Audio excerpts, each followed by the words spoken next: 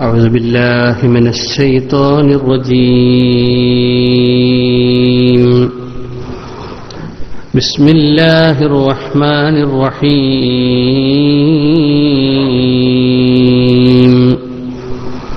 الحمد لله.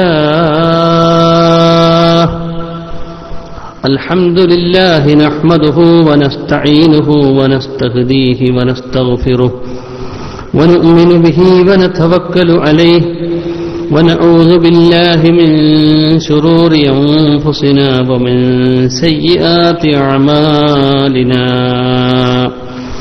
من يهده الله فلا مضل له ومن يضلل فلا هادي له.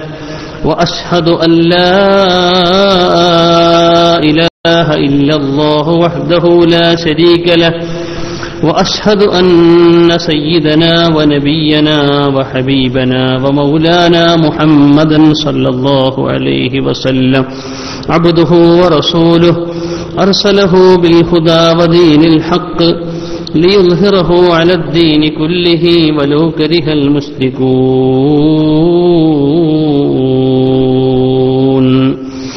اللهم صل على محمد وعلى آل سيدنا ومولانا محمد. اللهم بارك على سيدنا محمد وعلى آل محمد. كما صليت وسلمت وباركت على سيدنا خليل الله إبراهيم. عليه السلام وعلى آله إنك حميد مجيد. أما بعد فأعوذ بالله من الشيطان الرجيم.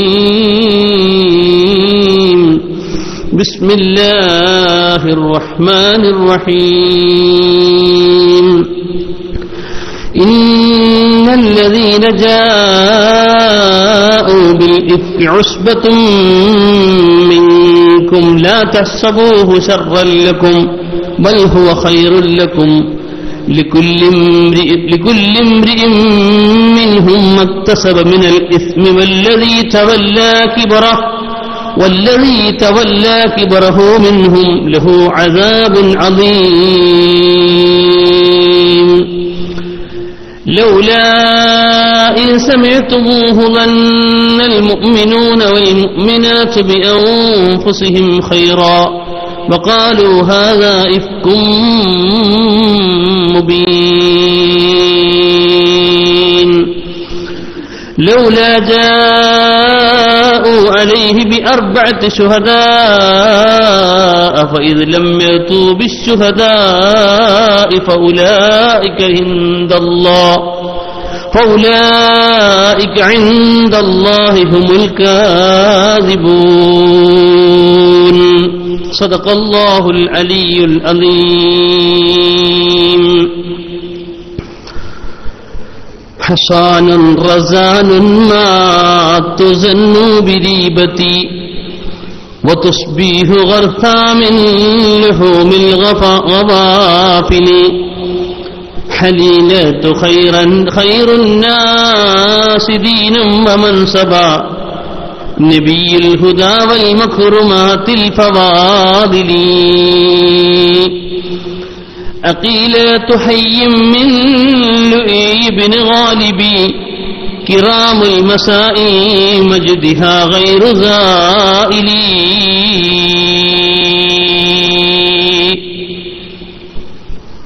ബഹുമാനപ്പെട്ട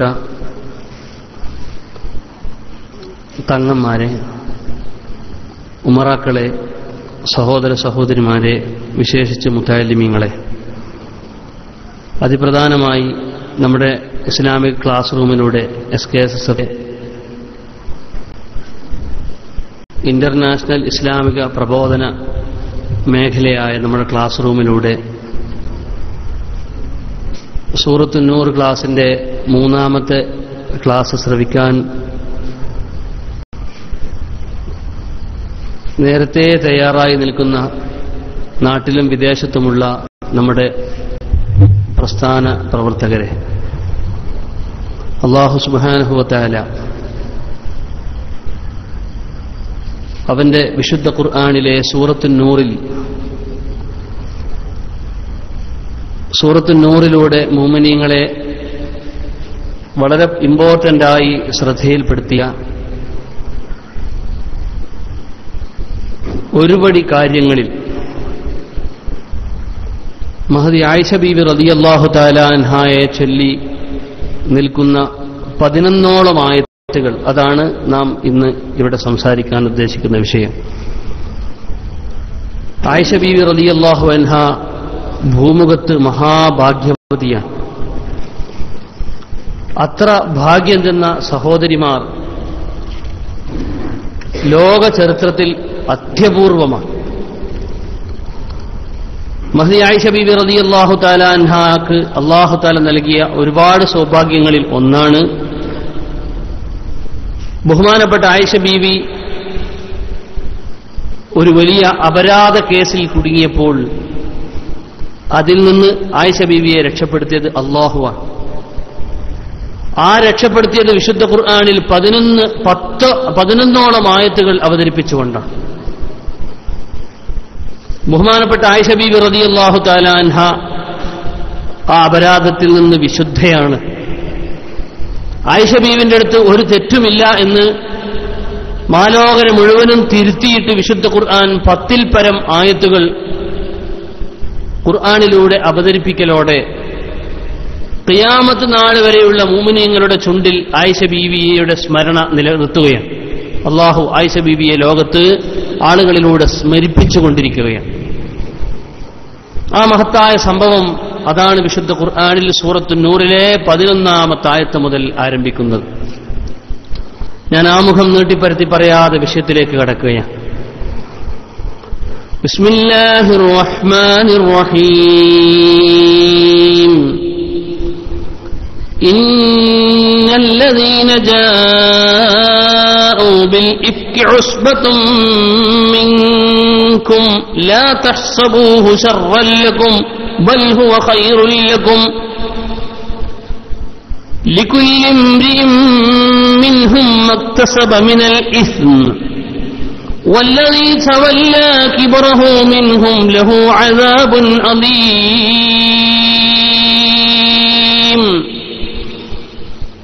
إن الذين جاءوا بالإفك ആയിഷ ബീബിയെ പറ്റി അപരാധം പറഞ്ഞ് മുന്നോട്ട് വന്ന ആളുകൾ ഉസ്ബത്തും മിങ്കും നിങ്ങളിൽപ്പെട്ട ഒരു സംഘം ആളുകളാണ് ഒരാളായിരുന്നില്ല ഒരു സംഘം ആളുകളാണ് ഈ ആയത്തിനെ വ്യാഖ്യാനിച്ചുകൊണ്ട് അല്ലാമ ഇബിന് കസീർ റളിയല്ലാഹു അൻഹു തന്റെ തഫ്സീറിൽ വിശദീകരിക്കുകയാണ് ഹാദിഹിൽ അശ്രു ആയ هذه العشر الآيات كلها نزلت في شأن عائشة أم المؤمنين رضي الله عنها ഈ ആയത്തുകൾ പറയാൻ പോകുന്ന പത്ത് ആയത്തുകൾ അത് അവതരിച്ചത് അവതരിപ്പിച്ചത് ആയിഷ വിറതി റളിയല്ലാഹു അൻഹായെ സംബന്ധിച്ച മുമിനീങ്ങളുടെ മാതാവ്.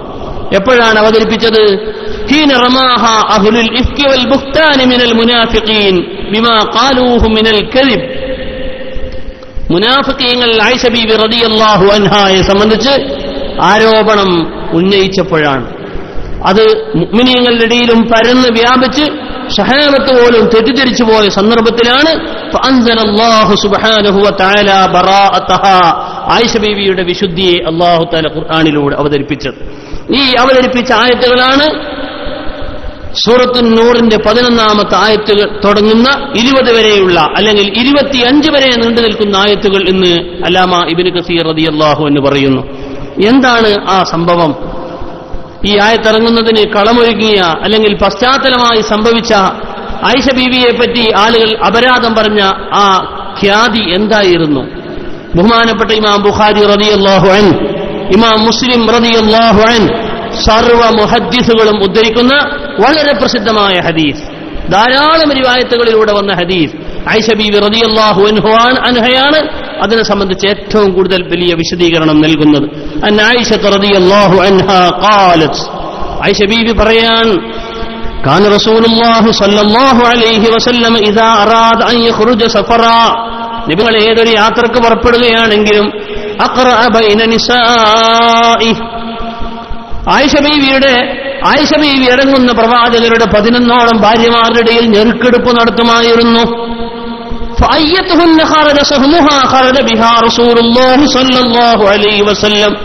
ഏത് നെരുക്കാണോ വീണത് ആർക്കാണോ നെരുക്ക് വീണത് അവരെയും കൂട്ടിയിട്ടാണ് നബിതങ്ങൾ യാത്ര പോകാറ്. ആരിലാണോ നെരുക്ക് വീണത് അവരെയും കൂട്ടി ബഹുമാനപ്പെട്ട നബി സല്ലാഹു അലൈഹി വസല്ലമ തന്റെ യാത്രയ്ക്ക് പങ്കാളിയെ ചേർക്കാറുണ്ട്. ബഹുമാനപ്പെട്ട നബി സല്ലാഹു അലൈഹി വസല്ലമ തങ്ങളുടെ കുടുംബജീവിതത്തിലെ നീതിയാണത് പറയുന്നത് സൂചിപ്പിക്കുന്നത്. പതിനൊന്നോളം ഭാര്യമാരുണ്ടാകുമ്പോൾ ഏത് യാത്രയിലും ഏതാളെയും നിബിധങ്ങൾക്ക് കൂട്ടാൻ അവകാശമുണ്ട്. ഭാര്യമാരുടെ ഇടയിൽ നീതി കാണിക്കൽ ഒന്നിലധികം ഭാര്യമാരുള്ള ബഹുഭാര്യമാരുള്ള ഒരാൾക്ക് അവരുടെ ഇടയിൽ നീതി പാലിക്കൽ ഷറയിൽ ഷർത്ത. പക്ഷെ അള്ളാഹുവിന്റെ റസൂലിന് അങ്ങനെ ഷർത്തുണ്ടോ? ഷർത്തില്ലേ? ഇമാമുകളൊക്കെ അഭിപ്രായ വ്യത്യാസമുണ്ട്. ഷർത്തില്ല എന്ന അഭിപ്രായക്കാരുണ്ട് ഷർത്തുണ്ട് എന്ന് പറയുന്നവരുണ്ട്. ഉണ്ടാവട്ടെ ഇല്ലാതിരിക്കട്ടെ. അള്ളാഹുവിന്റെ റസൂൽ എപ്പോഴും നീതി പാലിച്ചിട്ടുണ്ട്. നീതി പാലിക്കാത്തൊരു സമയമില്ല. അതിൽപ്പെട്ട ഒന്നാണ് അള്ളാഹുവിന്റെ റസൂൽ ഏത് യാത്രയ്ക്ക് പോകുമ്പോഴും തന്റെ കൂടെ സുദീർഘമായ യാത്രയ്ക്ക് ഒരു സഹധർമ്മിണിയെ തെരഞ്ഞെടുക്കുമ്പോൾ നെറുക്കിട്ടുകൊണ്ട് ആ നെറുക്കിൽ ആരെയാണോ? ലഭിക്കുന്നത് അവരെയും കൂട്ടിയിട്ടാണ് അള്ളാഹുവിന്റെ റസൂൽ പോകാറ്. ഐഷബീവി പറയാൻ ഒരു യുദ്ധത്തിന് അള്ളാഹുവിന്റെ റസൂൽ പോകുമ്പോൾ ബനുൽ മുസ്തലക്ക് യുദ്ധമാണ്.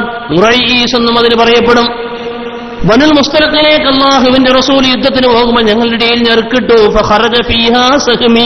അന്ന് എന്റെ ഊഴമാണ് വിജയിച്ചത്. എനിക്കാണ് അന്ന് ഞെറുക്ക് വീണത്. ഞാൻ ഹബീബായ നബിന്റെ കൂടെ അങ്ങനെ പുറപ്പെട്ടു ബനുൽ മുസ്തലഖിലേക്ക്.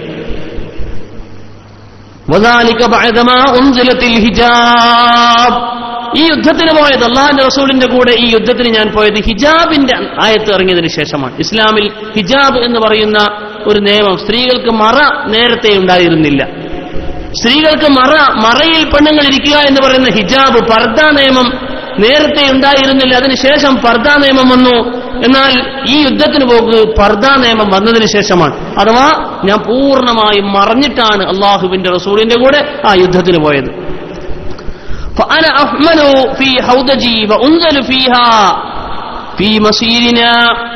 ആ യാത്രയിൽ ഞാൻ അതുകൊണ്ട് തന്നെ ഒട്ടകത്തിന്റെ പുറത്തുള്ള ഒട്ടകക്കട്ടിൽ എന്നെ വഹിച്ചു കൊണ്ട് കൊണ്ടുപോകില്ല ഞാൻ അതിലേക്ക് മറിഞ്ഞ ആ കൊട്ടകക്കട്ടിന്റെ വേക്ക് കയറിയിരിക്കും. ഒരു പ്രത്യേകമായ മറയോടുകൂടിയുള്ള ഒട്ടകപ്പുറത്തുള്ള കൂടിനാണ് ഹൗദജ് എന്ന് പറയുന്നത്. അങ്ങനെ ആ ഹൗദജിൽ കയറിയിരുന്നാൽ ആ ഹൗദജ് എടുത്ത് ഒട്ടകപ്പുറത്തേക്ക് ആളുകൾ കയറ്റി വെക്കും താഴേക്ക് അതിനെ ഇറക്കി വെക്കും. അങ്ങനെ ഞാൻ എന്റെ ആവശ്യം നിർവഹിക്കും. ആ രീതിയിൽ മറിഞ്ഞുകൊണ്ടായിരുന്നു ആ യാത്ര ഉണ്ടായിരുന്നത്. حتى إذا فرغ رسول الله صلى الله عليه وسلم من غزبة فقبل ودلونا من المدينة അങ്ങനെ ബനിൽ മുസ്തലക്കിൽ പോയി ആ യുദ്ധത്തിൽ ഹബീബായ നബിന്റെ കൂടെ പരിചാരകയായി ഞാൻ നിലകൊ ആ യുദ്ധം മനോഹരമായി വിജയിച്ചു ബഹുമാനപ്പെട്ട നബിയും സഹാബത്തും ബനിൽ മുസ്തലക്കിൽ നിന്ന് മദീനയിലേക്ക് തിരിച്ചു വരികയാണ് തിരിച്ചു വരുന്ന വഴിയിൽ വെച്ച് ആദനലയിലെത്തും രാത്രി ഏതാണ്ട് മദീനയോട് അടുത്ത് നിൽക്കുന്ന സമയം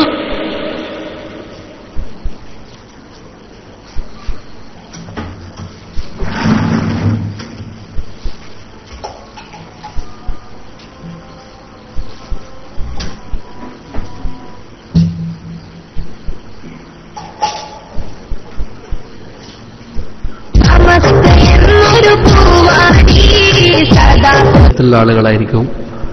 പത്ത് നാനൂറോളം ആളുകൾ റേഡിയോയിലൂടെയും മറ്റും കേട്ടുകൊണ്ടിരിക്കുന്നുണ്ട്. അവർ നമ്മുടെ നാട്ടിലെ ബാങ്കിന്റെ സമയമായിരിക്കില്ല. അവർക്ക് ഇപ്പം അരി ബാങ്ക് കൊടുത്തിട്ടുണ്ടാവില്ല. അവരോട് ക്ഷമ ചോദിക്കുകയാണ്. ഇവിടെ ബാങ്ക് കൊടുക്കുകയായിരുന്നു ഇഷാ ബാങ്ക്. ഞാൻ പറഞ്ഞു വന്നത് റസൂലുള്ളാഹി സല്ലാഹു അലൈഹി വസല്ലമ തങ്ങൾ ബനുൽ മുസ്തലത്ത് യുദ്ധം കഴിഞ്ഞ് തിരിച്ചു വരുന്ന വരവിൽ. ഏതാണ്ട് മദീനയോട് അടുത്തു നിൽക്കുന്ന സമയത്ത് ആദനയിലെ തമ്പിർ റഹീൽ. രാത്രി ഏതാണ്ട് സുബിഹിയോട് അടുത്തു നിൽക്കുന്ന സമയമാണ്. അവിടുന്ന് യാത്രക്കാർക്ക് വിളംബരം ചെയ്തു എല്ലാവരും ഇറങ്ങിക്കോളൂ. എല്ലാവരും ഇറങ്ങിക്കോളൂ മലമൂത്ര വിസർജനത്തിന് വേണ്ടിയും വിശ്രമത്തിനൊക്കെ വേണ്ടിയിട്ട് ഇറങ്ങാൻ വേണ്ടി യാത്രയുടെ ഏതാണ്ട് അവസാന ഭാഗം മദീനയോട് എടുത്തെത്താനായപ്പോൾ വിളംബരം ചെയ്തപ്പോൾ ബീവി പറയാൻ ആ യാത്രയിൽ ഞാൻ എന്റെ ഒട്ടകപ്പുറത്തുനിന്ന് എഴുന്നേറ്റു.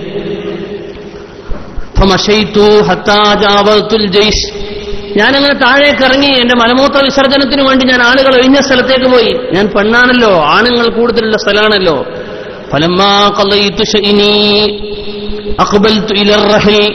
ആയിഷവി പറയാണ് ഞാൻ മൂത്രമൊക്കെ വെച്ചു എന്റെ മലമൂത്ര വിസർജന ശുദ്ധീകരണങ്ങളൊക്കെ നടത്തിയതിനു ശേഷം ഞാൻ ഫല ഞാൻ എന്റെ എന്റെ ഒട്ടക തട്ടിലേക്ക് ഒട്ടക ഒട്ടക എന്താ പറയാ ഒട്ടക? ഒട്ടകക്കട്ടിലേക്ക് ഞാൻ തിരിച്ചു വന്നു. ഒട്ടകത്തിന്റെ പുറത്ത് ആളുകൾക്ക് സഞ്ചരിക്കാനുണ്ടാക്കുന്ന ഒട്ടകക്കട്ടിൽ ഞാൻ അതിലേക്ക് തിരിച്ചു വന്നു. ഞാൻ വരുന്നത് ആളുകൾ കണ്ടിട്ടുണ്ട്. ഞാൻ പോകുന്നതും ആളുകൾ കണ്ടിട്ടുണ്ട്. പർദ്ദന്റെ ഉള്ളിൽ വരുന്നതും ഞാൻ കണ്ടിട്ടുണ്ട്. ഫലമസ്തു സദിരി ഞാൻ അവിടെ ഇരുന്നപ്പോ ഞാൻ എന്റെ നെഞ്ചത്ത് ഞാൻ ഇങ്ങനെ തടവി നോക്കി. എന്തിനാ നെഞ്ചത്ത് തടവി തടവിയെന്നറിയോ നെഞ്ചു വേദന കൊണ്ടല്ല. എന്റെ കഴുത്തിൽ ഒരു മാലയുണ്ടായിരുന്നു. ബണിൽ മുസ്തലക്ക് യുദ്ധത്തിൽ ഹബീബിന്റെ കൂടെ ഞാൻ പോകുമ്പോൾ എന്റെ കഴുത്തിൽ ഒരു മാലയുണ്ടായിരുന്നു. ആ മാല അത് എന്റെ ജ്യേഷ്ഠത്തി അസ്മാ ബീബിനോട് ഞാൻ കടം വാങ്ങിയതാണ്. ഇമാം ബുഖാരിയുടെ രൂപത്തിൽ അങ്ങനെ കാണാം? ഒരു സ്ത്രീകൾ പൊതുവെ എവിടെയെങ്കിലും സദ്യക്ക് ഒരു പരിപാടിക്ക് പോകുമ്പോൾ സ്വർണണിയും ഇല്ലെങ്കിൽ അപ്പുറത്തൊക്കെ വായ്പ മേടിക്കും. ഇല്ലേ? ഉണ്ടോ? അവിടെ ഉണ്ടോ? ഇവിടെ ആയിരിക്കും വായ്പ മേടിക്കേണ്ടി പോലും ഉണ്ടാവൂലേ മുമ്പുണ്ടാവലുണ്ട്. ഇപ്പൊ ആരും പൊന്നിടലില്ല. ഉള്ള തന്നെ വെട്ടിയില്ല അതെ. വായ്പ മേടിച്ചിടലുണ്ട്. ബഹുമാനപ്പെട്ട ആയിഷ ബീബി റതി അള്ളാഹു എന്ന് പറയാൻ ഞാനൊരു മാല വാങ്ങി വായ്പ മേടിച്ചിട്ടിരുന്നു. ആ മാല ആരുതാണെന്നറിയോ എന്റെ ജേട്ടത്തി അസ്മാ ബീബിന്റെതാണ് അസ്മാ അള്ളാഹു അൻഹായിൽ നിന്ന് ഞാൻ മേടിച്ച മാല. ഞാൻ ഒട്ടകക്കെട്ടിൽ കയറിയിരുന്നപ്പോ ഞാൻ തടവി നോക്കിയത് അവിടെ ഉണ്ടോ? നോക്കുമ്പോ കഥ അത് വീണുപോയിട്ടുണ്ട് എവിടെയോ? അതെവിടെയോ മുറിഞ്ഞു വീണു പോയിട്ടുണ്ട് ഞാനുടനെ ഒട്ടകക്കട്ടിലിൽ നിന്ന് താഴെ കറങ്ങിയിട്ട് ഫൽത്തമസ്തു കൃതി എന്റെ മാല ഞാൻ തേടി നടന്നു. അത് ഞാൻ തേടി തേടി ഒരുപാട് സമയം ചെലവഴിച്ചപ്പോൾ ഞാൻ അങ്ങനെ അതിന്റെ പിന്നാലെ കൂടിയപ്പോ ആളുകളൊക്കെ വന്നു. റഹ്തുല്ലദീന കാനൂ യർഹലൂന ബി ഫഹമലൂ ഹൗദജീ എന്റെ ഒട്ടകത്തട്ടിൽ മേലേക്ക് കയറ്റി വെക്കുന്ന ആൾ നേരത്തെ ഇറക്കി വെച്ച ആളുകൾ അതെടുത്ത് പൊക്കിയിട്ടത് മേലേക്ക് കയറ്റി വെച്ചു ഒട്ടകത്തിന്റെ മേലേക്ക് തന്നെ കയറ്റി വെച്ചു. എന്തുകൊണ്ട്? എല്ലാവരും പോകാൻ നിൽക്കാൻ ആളുകളൊക്കെ തിരിച്ചു വന്നിട്ടുണ്ട്. ആയിഷ ബീവി വരുന്നതും ആളുകൾ കണ്ടിട്ടുണ്ട്. മാല തേടിയിട്ട് തിരിച്ചു പോയത് ആളുകൾ കണ്ടിട്ടില്ല.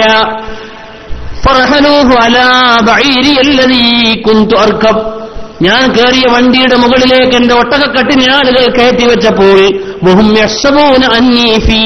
ഞാനതിലുണ്ടെന്ന് അവർ വിചാരിച്ചത്. ഞാനില്ലാതിരിക്കുന്നത് അവരെ അറിഞ്ഞില്ല അവർക്ക് മനസ്സിലായില്ല. എന്താണ് കാരണം. അന്ന് സ്ത്രീകളൊക്കെ വളരെ മെലിഞ്ഞിട്ടായിരിക്കും തടി കുറവായതുകൊണ്ട് ഘനം കുറവാണ്. പ്രത്യേകിച്ച് ആയിഷ ബീവി റളിയല്ലാഹു അൻഹ വളരെ മെലിഞ്ഞ സ്ത്രീയായിരുന്നു തടി കുറവായിരുന്നു. അതുകൊണ്ട് ഉണ്ടോ ഇല്ലെന്ന് അറിയില്ല. ആളുകൾ കൈ- എടുത്തു വെച്ചു. റസൂലുള്ളാഹി സല്ലല്ലാഹു അലൈഹി വസല്ലം പറയാൻ ബഹുമാനപ്പെട്ട ആയിഷ ബീവി പറയുന്നു കാനിഫാഫ അന്ന് പൊതുവേ പെണ്ണുങ്ങളൊക്കെ തടിമെലിഞ്ഞിട്ടായിരിക്കും മറ്റൊരു ഹദീസിൽ കാണാം ഖിയാമത്ത് നാളിന്റെ അടയാളാണ് പെണ്ണുങ്ങൾ തടിച്ചു വരിക എന്നുള്ളത്. പെണ്ണുങ്ങൾ എപ്പോഴും മെലിഞ്ഞിട്ട് തന്നെ ഉണ്ടാകുക അന്ന് എന്നല്ല ഇന്ന് രാവിലെ എന്ന റോഡിലൂടെ നടക്കുന്ന പെണ്ണുങ്ങൾ ഇഷ്ടം പോലെ കാണാം. എന്തിനാ നടക്കണത്? തടി വലിയാൻ വേണ്ടി നടക്കാൻ കൊളസ്ട്രോൾ കൂടിയിട്ട് അവിടെ ഇവിടെയും പൊന്തിയിട്ട് ഇറങ്ങി നടക്കാൻ പറ്റണില്ല. അത് ഖിയാമത്ത് നാളിന്റെ അടയാളമാണെന്ന് പുണ്യ നബി സല്ലല്ലാഹു അലൈഹി വസല്ലം. അതെങ്ങനെയാ പെണ്ണുങ്ങൾ തടിക്കുന്നത് ഖിയാമത്ത് നാളിന്റെ അടയാളാകുക? അത് ചിന്തിച്ചാൽ അതിനൊരുപാട് വായനകൾ ഇമാമുകൾ പഠിപ്പിക്കുന്നുണ്ട്. ഒന്ന് സ്ത്രീകൾ പൊതുവെ വീട്ടിൽ ഭക്ഷണക്കാരൻ തിന്നതിന്റെ ബാക്കിയൊക്കെ തിന്ന് ഭർത്താക്കന്മാർ തിന്നതിന്റെ ബാക്കിയൊക്കെ തിന്ന് അല്ലേ? പഴയ കാലത്തൊക്കെ അങ്ങനെ ഇപ്പൊ അങ്ങനെ നല്ലെന്ന് പറയുന്നുണ്ട് മോദിക്ക സ്ത്രീകൾ ഭർത്താക്കന്മാർ തിന്നേന്റെ ബാക്കിയൊക്കെ തിന്ന. ഇപ്പൊ അങ്ങനെയൊന്നല്ല ഭർത്താവ് വരുമ്പോ ചുട്ട കോഴി ശവായി അൽഫാമ കൊണ്ടുവന്നിട്ട് മുമ്പ് പുറത്തേക്കേണ്ടി വരും. വടകരയിൽ നല്ല ചുട്ട ബുക്ക് ചെയ്ത് മടിച്ചും കൊണ്ടുവരികയാണ് ഞാൻ വൈകുന്നേരം നമ്മൾ തങ്ങൾ പീഡിയന്റെ അടുത്ത് ഒരു ചായ പിടിക്കാൻ വേണ്ടി ഇറങ്ങിയത്. ഒരുപാട് ഓടിയപ്പോഴേ. അപ്പൊ അവിടെ നോക്കുമ്പോൾ ആരും ആളുന്നില്ല ഞാൻ ചോദിച്ചു ഇതെങ്ങനെ ഈ കച്ചവടം മുതലാണത്? അപ്പൊ നമുക്ക് മുഴുവൻ ഓർഡറുകളാണ്. എവിടെയൊക്കെയോ വീടുകൾ ഇങ്ങനെ ഓർഡർ ചെയ്തിരിക്കുകയാണ്. ചുട്ട കോഴി പെണ്ണുങ്ങൾ വൈകുന്നേരം തിന്നാൻ മാരി കഴിയാൻ വേണ്ടി കാത്തിരിക്കുകയാണ്. അതുകൊണ്ട് തന്നെ സ്ത്രീകൾ തടിച്ചു എന്ന് പറഞ്ഞാൽ ധാരാളം സൗകര്യങ്ങൾ വർദ്ധിക്കുക എന്നാണ് അതിന്റെ പൊരുൾ. ബഹുമാനപ്പെട്ട ആയിഷ ബീബി റളിയല്ലാഹു എന്ന് പറയാ അന്ന് സ്ത്രീകൾക്ക് മെലിഞ്ഞവരായിരുന്നു. അങ്ങനെ ഞാൻ എന്റെ ഒട്ടകക്കട്ടിൽ കയറിയിരിക്കാതെ അവർക്ക് തിരിഞ്ഞില്ല. ഫലം നസ്തങ്കിരിൽ ഖൗമു സിഖലൽ ഹൗദജ് ഹീന റഹലൂഹു വറഫഊ. അവർ ഒട്ടകക്കെട്ടിലെടുത്ത് കയറ്റി വെച്ചപ്പോ ഞാൻ തിരിഞ്ഞില്ല. അതിലില്ലാന്നവർക്ക് മനസ്സിലായില്ല. കാരണം അത്ര ചെറുതാണ് ഞാൻ. വക്കുന്തു ജാരിയത്തൻ ഹദീസസിൻ പ്രായം കുറഞ്ഞ ചെറുപ്പക്കാരിയായ ചെറിയ മോളാണ് ഞാൻ. ജമല വസാറു. ആളുകൾ എന്ത് ചെയ്തു? ഒട്ടകവും ഉപയോഗിച്ചു ആളുകളൊക്കെ അങ്ങ് പോയി. നബിയും സഹാബത്തും കൂട്ടത്തോടെ ഒരു മദീനത്തേക്ക് പോയി. ആ സൈന്യം മുഴുവനും പോയതിനു ശേഷം ഞാൻ ഇങ്ങനെ തെരഞ്ഞുകൊണ്ടിരിക്കുകയാണ്. എന്റെ മാല തരികയാണ് ഞാൻ. എന്റെ മാലന്റെ ശ്രദ്ധയിലാണ് ഞാനുള്ളത്. ആൾ പോകുമെന്നുള്ള ബേജാറൊന്നും എനിക്കില്ല. അവസാനം മാല കിട്ടി. മാലയും കിട്ടി ഞാൻ തിരിച്ചു വന്ന് നോക്കുമ്പോൾ ഫജിത്തു മനാസിലഹും ഞാൻ എന്റെ സ്ഥലത്തേക്ക് വന്ന് നോക്കുമ്പോൾ മുജീബ്. ഞാൻ വിളിച്ചിട്ട് വിളി കേൾക്കുന്ന ആളില്ല എന്നെ വിളിക്കുന്ന ഒരാളെയും അവിടെ കാണുന്നില്ല ഒരു തെരി പോലും ഇല്ലാതെ എല്ലാം പോയി തീർന്നിരിക്കുകയാണ്. മൻസിലിൽ മൻസിലിയല്ല നീ കുന്തു ഫീ. ഞാൻ ബുദ്ധി കൊണ്ട് ഉറപ്പിച്ചു ഇവിടെ തന്നെ നിൽക്കുക. എന്നെ കാണാതിരിക്കുന്നവർ തിരിച്ചു വരുമല്ലോ. തിരിച്ചു വരുന്ന വന്ന് എവിടെയാ നോക്ക്? ആദ്യം ഇറങ്ങിയെടുത്താ നോക്ക്. അവിടെ എവിടെയെങ്കിലും നഷ്ടപ്പെട്ടു പോയിട്ടുണ്ടോ? എന്നല്ലേ നോക്കുക അതുകൊണ്ട് ഇവിടെ തന്നെ നിൽക്കലാ ബുദ്ധി എന്ന് മനസ്സിലാക്കി ഞാൻ അവിടെ നിന്നു. എനിക്കറിയാം. അന്നൽ മദീനയിൽ എത്തി നോക്കുമ്പോ എന്നെ കാണാതിരിക്കും. ഞാൻ നിന്നിടത്തേക്ക് അവർ വരിക എന്ന് മനസ്സിലാക്കി ഞാൻ അവിടെ നിൽക്കവേ. ഏതാണ്ട് പാതിരയാണ് പുലർച്ചെ ഒരിടത്ത സമയമാണ്. ഞാനങ്ങനെ ഇരുന്നപ്പോൾ ആ ഇരുത്തത്തിൽ ഞാനൊന്ന് തൂങ്ങിപ്പോയി ഫനിൻസ് ഞാനങ്ങനെ ഉറങ്ങി وكان صفوان بن معتل الس- معتل السلمي ثم الذكواني رضي الله عنه സഹാബികളിൽ പ്രഗത്ഭനായ സഹാബിയുണ്ട് സയ്യിദുന സഫുവാൻ റളിയല്ലാഹു അൻഹു ഈ ഈ ചരിത്രത്തിൽ പഠിക്കേണ്ട പേര് പഠിക്കേണ്ട ഒരു സഹാബിയാണ് സയ്യിദുന സഫുവാൻ റളിയല്ലാഹു സയ്യിദിന സഫുവാൻ റളിയല്ലാഹു അൻഹു. ഒന്ന് പറയൂ സയ്യിദുന സഫുവാൻ റളിയല്ലാഹു താലാൻ ഒന്നാമത്തെ ക്ലാസ്സിലും രണ്ടാമത്തെ ക്ലാസ്സൊക്കെ പല സഹാബികളെ നമ്മൾ പരിചയപ്പെട്ടിട്ടുണ്ട്. എന്നാൽ പരിചയപ്പെടേണ്ട വളരെ പ്രധാനപ്പെട്ട മറ്റൊരു പുതുമുഖം മഹാനായ സയ്യിദുന സഫുവാൻ റബിയല്ലോഹൻ സഫുവാൻ എന്നവരെ മകനാണ് സഫുവാൻ റബിയല്ലോഹൻ മഹാനായ സഫുവാൻ റളിയല്ലാഹു തആല അൻഹു അദ്ദേഹം ഈ സംഘത്തിന്റെ യുദ്ധസംഘത്തിന്റെ പിറകിൽ ഇങ്ങനെ വരുന്നുണ്ട്. എന്തിനാ വരുന്നറിയോ വല്ലതും വീണുപോയിട്ടുണ്ടെങ്കിൽ വല്ല വസ്തു നഷ്ടപ്പെട്ടു പോയിട്ടുണ്ടെങ്കിൽ അതൊക്കെ പൊറുക്കിയെടുക്കാൻ പിറകിൽ ഒരാൾ വരും. യുദ്ധത്തിന്റെ മുമ്പിലും കുറച്ച് ആളുകൾ ഉണ്ടാകും യുദ്ധത്തിന്റെ പിറകിലും ഒരാളുണ്ടാവും. മുമ്പിൽ പോകുന്നത് എവിടെയെങ്കിലും വല്ല തടസ്സമുണ്ടോ എന്നറിയാൻ വേണ്ടി മുക്കത്തിമത്തുൽ ജയ്സ് ഒരു യുദ്ധത്തിന്റെ സംഘത്തിന്റെ ഒരു മുഖവര കടന്നു പോകും ഈ യുദ്ധത്തിന്റെ പിറകിൽ വരുന്ന സഹാബി മഹാനായ സയ്യിദിന സഫുവാൻ റബി അള്ളാഹു അങ്ങനെ വന്നു. വന്നപ്പോ അസ്ബഹ ഞാൻ ഇരിക്കുന്നിടത്തേക്ക് സഫുവാൻ തങ്ങളെത്തി രാത്രിയാണ്. ഇൻസാൻ. ഒരാളെ നിഴലവിടെ കണ്ടു സഫുവാൻ റബി ഫഅഥാനി എന്റെ നിഴലാണ്. പർദ്ദ ധരിച്ച എന്റെ നിഴലാണ്. എന്റെ അടുത്തേക്ക് വന്നു എന്നെ കണ്ടപ്പോ സഫുവാദങ്ങൾക്ക് തിരിഞ്ഞു. ആ ഇതായിശ ബീവിയാണ്. ഇത് ആയിഷ ബീവിയാണെന്ന് തിരിഞ്ഞു. ആരെങ്കിലും കൂട്ടാൻ പറ്റൂലല്ലോ. എങ്ങനെ ആയിഷ ബീവിനെ സഫുവാൻ തിരിഞ്ഞത്?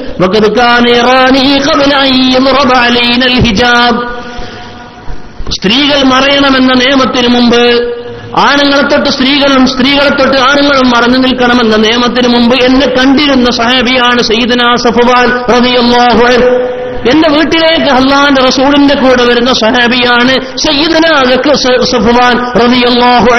അതുകൊണ്ട് ഞങ്ങൾ തമ്മിൽ അറിയാം. മറ ഇറങ്ങിയതിന് ശേഷം എന്നെ കണ്ടിട്ടില്ലെങ്കിലും മറക്ക് മുമ്പ് എന്നെ കണ്ട് പരിചയമുള്ള സഹാബിയായതുകൊണ്ട് എന്നെ കണ്ടപ്പോ തന്നെ മൂപ്പർക്ക് തിരിഞ്ഞു. ഇതായിഷ ബീബിയാണ് വഴിയിൽ നഷ്ടപ്പെട്ടു പോയതാ കുടുങ്ങിപ്പോയതാ അത് മൂപ്പർക്ക് മനസ്സിലായി.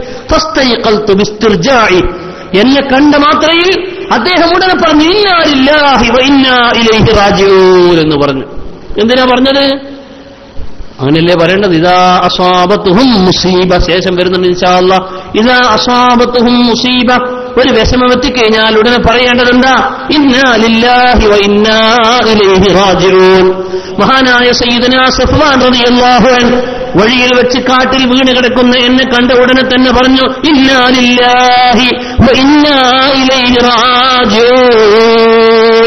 ഇത് പറയേണ്ട താമസം ആയിഷബി റളിയല്ലാഹു എന്ന് പറയാൻ അറഫനി എന്നെ തിരിച്ചറിഞ്ഞ ഉടനെ ഇന്നാലില്ല എന്ന് പറഞ്ഞപ്പോ ഞാൻ പെട്ടെന്ന് ആ ശബ്ദം കേട്ട് ഞെട്ടി എഴുന്നേറ്റു. ബാബി. ഞാൻ വേഗം എന്റെ ജിൽബാബ് കൊണ്ട് എന്റെ മുഖമക്കനെ കൊണ്ട് എന്റെ മുഖം ഞാൻ മറച്ചു കളഞ്ഞു.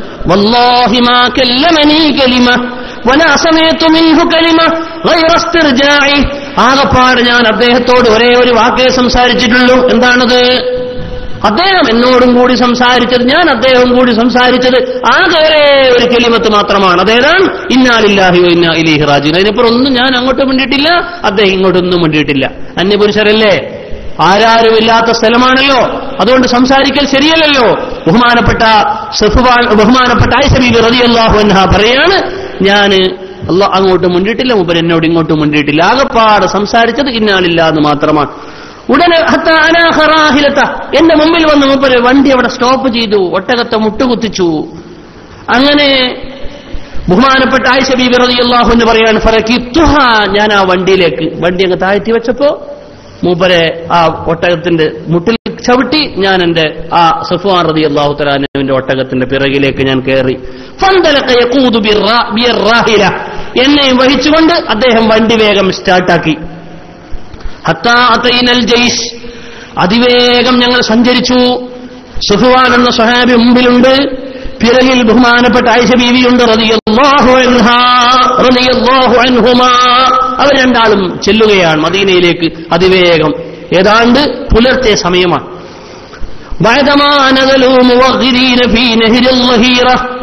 ബഹുമാനപ്പെട്ട നബിയും സഹാബത്തും അങ്ങനെ സഞ്ചരിച്ച് സഞ്ചരിച്ച് സഞ്ചരിച്ച് അവർ സുബഹി നിസ്കരിച്ച് അവർ മദീനയിലെത്തി. ഏതാണ്ട് ഉച്ചയോളം സൂര്യൻ ഉദിച്ചെന്തോ പൊന്തിയിട്ട് എല്ലാതെ പ്രകാശവും ലൈറ്റൊക്കെ നിൽക്കുന്ന സമയത്ത് മദീനയിൽ എത്തി നിൽക്കുമ്പോൾ അവർ ഒട്ടകത്ത് നാടുകളെ ഇറക്കി സാധനമൊക്കെ ഇറക്കി നോക്കുമ്പോൾ ആയിഷ ബീവിനെ കാണാനില്ല. പഠിച്ചോനെ ആയിഷ ബീവി എവിടെ പോയി? യുദ്ധത്തിലെ ഒരു സംഘം ആളുകൾ പോയി വന്നിട്ട് ഒരു ആളെന്നെ നഷ്ടപ്പെട്ടിരിക്കുകയാണ്. ആ ആൾ സാധാരണ ഒരാളല്ല അത് ആയിഷ ബീവിയാണ്. പ്രതി അള്ളാഹു അൻഹ. അള്ളാഹുവിന്റെ റസൂലിന്റെ ഭാര്യയാണ് ആയിഷ ബീബി റതി അൻഹ. മദീനയിൽ ആകെ ചർച്ച. യുദ്ധത്തിന് പോയ ഒരാൾ നഷ്ടപ്പെട്ടു പോയി. ഒരാൾ നഷ്ടപ്പെട്ടു പോയി. വഴിയിൽ ആ ചർച്ചയും സംസാരവും മദീനയിൽ ഇങ്ങനെ കത്തി നിൽക്കുന്ന സമയം ആ സമയത്താണ് സഫുവാന്റെ വണ്ടിന്റെ പിറകിലായി ഞാനും സഫുവാൻ എന്ന സഹാബിയും റളിയല്ലാഹു അൻഹുമാ മദീനയിലേക്ക് ചേരുന്നത്. അതിവേഗം സഫുവാന്റെ വണ്ടി മദീനയിൽ പോയി. മദീനയിൽ ഇറങ്ങുമ്പോൾ തന്നെ എല്ലാ രത്തുകളും ഞങ്ങളിലേക്കാണ്. മദീന നിവാസികൾ മുഴുവനും ഇന്നലെ കാണാതായ ആയിഷ ബീബി ഇതാ വരുന്നു. എങ്ങനെയാ വരുന്നതെന്നറിയോ? ഒരു ചെറുപ്പക്കാരന്റെ വണ്ടിയുടെ പിറകിലിരുന്നിട്ടാ വരുന്നത്. ഇന്നലെ രാത്രി രണ്ടാൾ എവിടെയോ ഒളിച്ചുകൂടിയെന്ന. അപ്പം തന്നെ ഒരാൾ അതിനെപ്പറ്റി ഒരു കാര്യം പറഞ്ഞുണ്ടാക്കി. ഒരാൾ ഉടനെ ഒരു കാര്യം പറഞ്ഞുണ്ടാക്കി. ആരാണ് ആ പറഞ്ഞുണ്ടാക്കിയത്? ചരിത്രത്തിൽ അഭിപ്രായ വ്യത്യാസമുണ്ട്. ഏറ്റവും പ്രബലമായ വീക്ഷണം Abdullah bin Ubayy bin Salul. റതിയല്ലാഹു എന്നൊന്നും പറയണ്ട കേട്ടോ അബ്ദുല്ലാഹിബിൻ ഉബൈൻ ബിൻ സലൂൽ മുനാഫിക്കാണ് അയാൾ. മുനാഫിക്കാന്ന് മാത്രമല്ല മുനാഫിക്കിങ്ങളെ നേതാവാണ് ആ മനുഷ്യൻ. അയാൾ കൊണ്ടുണ്ടാകുന്ന മുസീബത്തും ലററും ചരിത്രം പരിശോധിച്ച് നോക്കിയാൽ ഞെട്ടിപ്പോവും അത്രയേറെയുണ്ട്. അദ്ദേഹം മുനാഫിക്കിങ്ങളുടെ നേതാവാണ്. അദ്ദേഹം ഉണ്ടാക്കി. എന്താ പറഞ്ഞുണ്ടാക്കിയത്? പള്ളി നിസ്കരിക്കാൻ വരുന്ന ആളാണ്. നോമ്പ് നോക്കുന്ന ആളാണ്. എല്ലാ കാര്യത്തിലും ഞാൻ മുസ്ലിമാന്ന് പറഞ്ഞ് നിലകൊള്ളൂ. നീ മുസ്ലിം അല്ല എന്ന് ആരെങ്ങനെ പറയൂ? ഒരടയാളം കിട്ടൂല. പക്ഷേ ഇങ്ങനെയുള്ള തിരിപ്പിലൊക്കെ മുപ്പരുണ്ടാവും. എവിടെയാ കുറവുള്ളത്? എവിടെയാ പറയാനുള്ളത്? എവിടെയാ അഭിപ്രായം പറയാനുള്ളത്? അവിടെയൊക്കെ മൂപ്പരുണ്ടാവും. എന്നാലോ ഒന്നാം സഫിൽ നിസ്കാരത്തിനുണ്ടാവും സർവകാര്യത്തിനുണ്ടാവും അയാളെ പേരാണ് മുനാഫിഖ് എന്ന്. അയാൾ ഈമാനില്ല. അയാൾ മൂമനല്ല അയാൾ പച്ച കാഫറാണ്. പക്ഷെ ഇസ്ലാം മുകളിവാക്കി നടക്കുകയാണ്. മുനാഫിക്കുകൾ ഒരു പറ്റം ആളുകൾ ഉണ്ടായിരുന്ന അയാളെ നേതാവായിരുന്ന അബ്ദുല്ലാഹിബിൻ ഉബൈൻ സലോലി എന്ന് പറയുന്ന ഈ മനുഷ്യൻ. അദ്ദേഹം ഒരു അപരാധം ഉണ്ടാക്കി. എന്താണ്? ആയിഷ ബീവി ഇന്നലെ സഫുവാൻ എന്ന ചെറുക്കനുമായി ഒളിഞ്ഞതാണ്. അവർ രണ്ടാളും മാറി നിന്നതാണ്. അങ്ങനെ അവരെപ്പറ്റി അപരാധം പറഞ്ഞു ആ അപരാധം അങ്ങ് പരന്നു മദീനയിൽ പരന്നു പല ആളുകളുടെ ഇടയിലും ചെവികളിലൂടെ പരന്നു വിശുദ്ധ ഖുർആാനത് പറയുന്നുണ്ട് അള്ളാഹുവിന്റെ ഖുർആാനത് പറയുകയാണ് إذ تلقونه بألسنتكم وتقولون بأفواهكم ما ليس لكم به علم وتحسبونه حينا وهو عند الله عظيم إذ تلقونه بألسنتكم നിങ്ങളുടെ ചുണ്ടുകൾ കൊണ്ട് നിങ്ങൾ അങ്ങനെ പറഞ്ഞു ചുണ്ടുകളിലൂടെ അതിങ്ങനെ സഞ്ചരിച്ചു ആളുകളുടെ നാവിലൂടെ അതിങ്ങനെ പരന്ന് പരന്ന് കിടന്നു.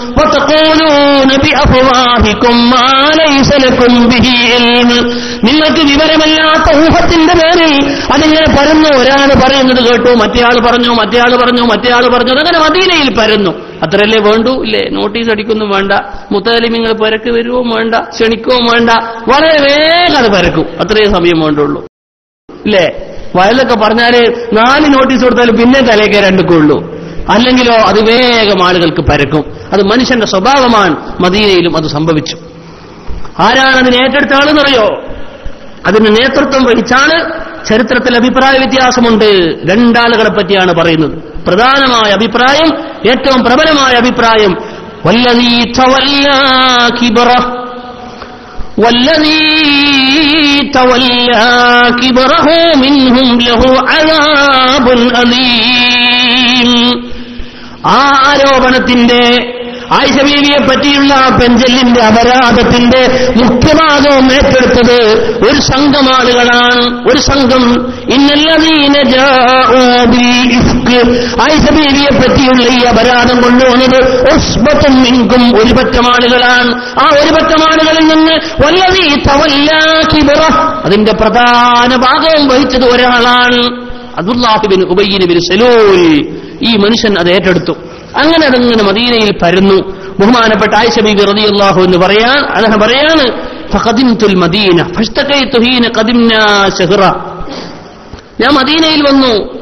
മദീനയിൽ വന്നപ്പോ മദീനയിൽ അങ്ങ് എത്തിയപ്പോഴത്തേക്ക് എനിക്ക് പനി പിടിച്ചിട്ടുണ്ട്. എന്തിനാ പനി പിടിച്ചതെന്നറിയോ? ആളുകൾ പറഞ്ഞൊന്നും ഞാൻ അറിയില്ല ആളുകൾ സംസാരിക്കുന്നു ഞാൻ ചിന്തിച്ചിട്ടില്ല. വഴിയിൽ വീണുപോയില്ലേ? ഇല്ലേ? യാത്രയിൽ ആരാരുമില്ലാത്ത മരുഭൂമിയിൽ ബഹുമാനപ്പെട്ട ആയിഷബി വെറുതെയല്ലാഹു തലാന്ന വീണു ഒറ്റക്കായി ആ ബേജാറും പേടിയൊക്കെ കൊണ്ടും ദീർഘമായ യാത്ര കൊണ്ടും ഞാൻ പനി പിടിച്ചു വീട്ടിൽ വിശ്രമിക്കുകയാണ്. ആളുകളുടെ ഈ സംസാരം ഇങ്ങനെ പരക്കുക ഐഷബീബിനെ പറ്റിയുള്ള സഫുവാൻ എന്ന സഹാബിയെ പറ്റിയുള്ള ഈ അപരാധം ഇങ്ങനെ പരന്ന് പരന്ന് പരന്ന് നിലകൊള്ളുകയാണ്. ഞാനിതൊന്നും അറിയുന്നില്ല. ഞാൻ അറിയാതെ മദീനയിൽ ഇങ്ങനെ പരങ്ങടക്കുകയാണ് وهي يريبني في وجهي أني لا أعرف من رسول الله صلى الله عليه وسلم اللطف الذي كنت أرى منه حين أشتكي രോഗം പിടിച്ചിട്ട് ഞാൻ വീട്ടിൽ വിശ്രമിക്കുന്ന സമയത്ത് അള്ളാഹുവിന്റെ റസൂൽ എന്നെ പരിചരിക്കാൻ വേണ്ടി വരും ബഹുമാനപ്പെട്ട നബി സല്ലല്ലാഹു അലൈഹി വസല്ലം എന്നെ പരിചരിക്കാൻ വേണ്ടി വരുമ്പോൾ ആ പരിചരണ സമയത്ത് എനിക്ക് സാധാരണ നബിയിൽ നിന്ന് കിട്ടുന്ന പരിചരണം ലഭിക്കുന്നില്ല. നബി സാധാരണ വന്നാൽ എനിക്ക് രോഗം പിടിച്ചാൽ എനിക്ക് നല്ല ശുശ്രൂഷയും പരിചരണവും സ്നേഹവും തരാറുണ്ട്. അതിപ്പം കാണുന്നില്ല. എനിക്കത് ഭയങ്കര സംശയം ഉണ്ടാക്കുകയാണ്. എന്താണ് അള്ളാഹ് റസൂൽ ഇങ്ങനെ സാധാരണ പോലെ എന്നോട് സ്നേഹം കാണിക്കാത്തത്? എന്നെന്റെ മനസ്സിൽ ഇങ്ങനെ സംശയം കിട്ടുമോ? എനിക്ക് തോന്നും വല്ല ഫിത്തനയുണ്ടോ പടച്ചോനെ വല്ല കുഴപ്പമുണ്ടോ എന്ന് ഞാനിങ്ങനെ ചിന്തിക്കുന്നുണ്ട്. റസൂലുള്ള ഞാൻ രോഗം പിടിച്ചു കിടക്കുമ്പോൾ റസൂൾ ഇപ്പൊ എന്റെ അടുത്ത് വന്നാൽ ഫൈസല്യം സലാം പറയും. സുമ്മയക്കൂൾ പിന്നെ ചോദിക്കും കൈഫത്തീക്കും ആയിഷ എങ്ങനെയുണ്ട്? ഇത് മാത്രം ചോദിച്ചിട്ട് അങ്ങ് പോകും വേറെ ഒരു പരിപാടിയുമില്ല. അതെന്നെ സംശയിപ്പിക്കുകയാണ് എന്റെ മനസ്സിൽ സംശയം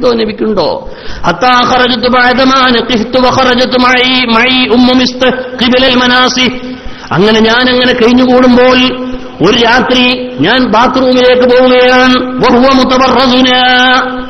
അന്നൊക്കെ ഞങ്ങൾ മറക്ക് പോകൽ വെളിയിലേക്ക് പോകാം. പാതിര രാത്രിയാ പോവുക. പഴയ കാലത്തൊക്കെ ഞങ്ങൾക്ക് ഓർമ്മ നമ്മൾ പഴയ കാലത്തൊക്കെ അങ്ങനെയല്ലേ ബാത്റൂമിലേക്ക് സഹാബി ബഹുമാനപ്പെട്ട ഐസബി വെറുതെ അള്ളാഹു എന്ന് പറയാൻ ഞങ്ങൾ രാത്രിയൊക്കെ വീട്ടിന് പുറത്ത് വെളിയിലേക്ക് പോക്കാം മറക്ക് വേണ്ടി.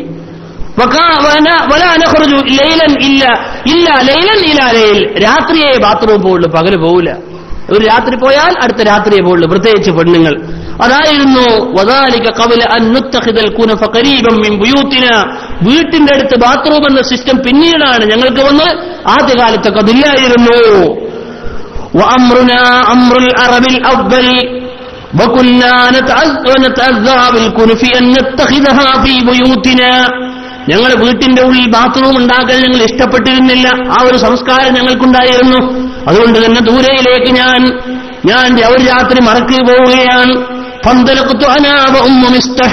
ഉമ്മ മിസ്തഹ്. എന്ന് പറയുന്ന ഒരു സഹാബി വനിതയും എന്റെ കൂടെ എന്നെ സഹായിക്കാനെന്ന് എന്റെ കൂടെയുണ്ട്.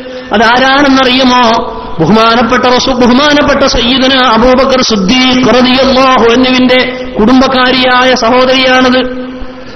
ബഹുമാനപ്പെട്ട ഉമ്മു മിസ്തഹിന്റെ കൂടെ ഞാനിങ്ങനെ പോകുമ്പോ ബഹുമാനപ്പെട്ട ആയിഷ ബീബി റളിയല്ലാഹു എന്ന് പറയാൻ فأقبلت أنا وابنة وابنة أبي رحم قبل بيتي حين فرغنا من من شأننا فأثرت أم مستح في مرتها ഞങ്ങൾ ബാത്റൂമിലെ ആവശ്യങ്ങളൊക്കെ കഴിച്ച് തിരിച്ചു വരുന്ന സമയത്ത് ഉമ്മ മിസ്തഹ് വന്നങ്ങ് വീണു മൂപ്പത്തിയൊന്ന് വീണു എന്നെ സഹായിക്കാൻ വേണ്ടി വന്നതാ വരുന്ന വരവിൽ ഞാൻ രോഗിയാണല്ലോ മൂപ്പത്തി വീണു ആ വീണ സമയത്ത് മൂപ്പത്തി പറഞ്ഞു തൈസത്ത് ഉമ്മ തൈസത്ത് മിസ്തഹ്. മിസ്തഹിന്റെ ഉമ്മയാണ് ഉമ്മ മിസ്തഹ്.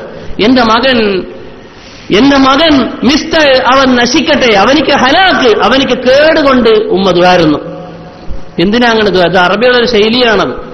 തൈസത്ത് അല്ലെങ്കിൽ ഹലക്കത്ത് അല്ലെങ്കിൽ വൈൽ കൊണ്ടൊക്കെ പറയൽ ദേഷ്യം പിടിച്ച് പറയൽ അവർ സാധാരണ ഭാഷയാണ്. എന്നൊന്നും നശിക്കട്ടെ എന്ന അർത്ഥത്തിലല്ല. ഒരു ശകാരവാക്ക് മാത്രമാണ്. ആ ശകാരവാക്ക് വീണ ഉടനെ ഉമ്മ മകനിക്കെതിരെയാ പ്രയോഗിച്ചത്. ആരാണ് ആ മകൻ?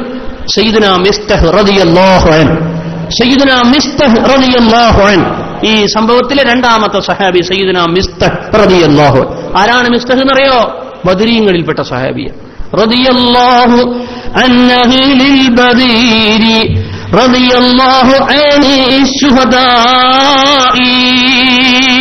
മഹാന്മാരായ ബദരീങ്ങളിൽപ്പെട്ട സൈദന മിസ്തഹ് റളിയല്ലാഹു അൻഹുവിന്റെ ഉമ്മയാ പറയണത് തൈസ മിസ്തഹ് മിസ്തഹ് നശിക്കട്ടെ എന്ന് ശാപം കൊണ്ട് മിസ്തഹിന് ഇതുവായിരുന്നു ഫഖുൽതുലഹ ഐസ ബീബി പറയാൻ ഞാൻ ഉടനെ ഉമ്മ മിസ്തഹിനോട് മിസ്തഹിന്റെ മാ ഉമ്മയോട് പറഞ്ഞു ബീസമാ കുൽത്തി തസുബീനി റജുല ഫഖദ് ഷഹിദ ബദ്റ. ബദരീങ്ങളിൽപ്പെട്ട ഒരു സഹേബിയാണോ നിങ്ങൾ ചീത്ത പറയുന്നത് നിങ്ങൾ മോശം പറയുന്നത് ശകാരിക്കുന്നത്? എന്താണ് നിങ്ങൾ ചെയ്തത് എന്ന് ഞാൻ ഉടനെ ഉമ്മു മിസ്തഹിനോട് ചോദിച്ചു. കാലത്ത് ബഹുമാനപ്പെട്ട ഉമ്മു മിസ്തഹ് പറയാൻ അലം ഖാൽ ആയിഷ നിനക്കറിയില്ലേ എന്റെ മിസ്തഹ് പറഞ്ഞത്? എന്റെ മിസ്തഹ് പറയുന്നത് നിനക്കറിയില്ലേ? ഞാൻ എങ്ങനെ അവനെ ശപിച്ചാതിരിക്കും? മമാ ഖാൽ ബഹുമാനപ്പെട്ട ആയിഷ ബീവി ചോദിച്ചു എന്താണ് മിസ്തഹ് പറഞ്ഞത്? അപ്പോഴാണ് എന്റെ മകൻ മിസ്തഹ് പറഞ്ഞത് ഇന്നതാണെന്ന് മിസ്തഹിന്റെ ഉമ്മ സയ്യിദത്തുന ആയിഷ റളിയല്ലാഹു അൻഹായോട് പറയുന്നത്. മദീനക്കാരായ ആളുകളൊക്കെ ഇങ്ങനെ പറയുന്നുണ്ട് അതെന്റെ മോൻ മിസ്തഹും പറയുന്നുണ്ട്. എന്താ പറയണത്? എന്നെ പറ്റി ഒരു അപരാധം. ആയിഷബി പറയും ഇതങ്ങ് കേട്ടപ്പം പനി പിടിച്ച് എത്രയോ നാളായി വിറച്ച് കിടക്കുന്ന എന്റെ പനി. ഇല അമർന്നി എന്റെ രോഗം ഒന്നും കൂടി മൂർച്ഛിച്ചു. എന്റെ രോഗം ശക്തിയായി കാരണം ഈ വാർത്ത കേൾക്കലോടെ ഞാൻ തളർന്നുപോയി ഞാൻ എന്റെ വീട്ടിലേക്ക് തിരിച്ചു പോയപ്പോ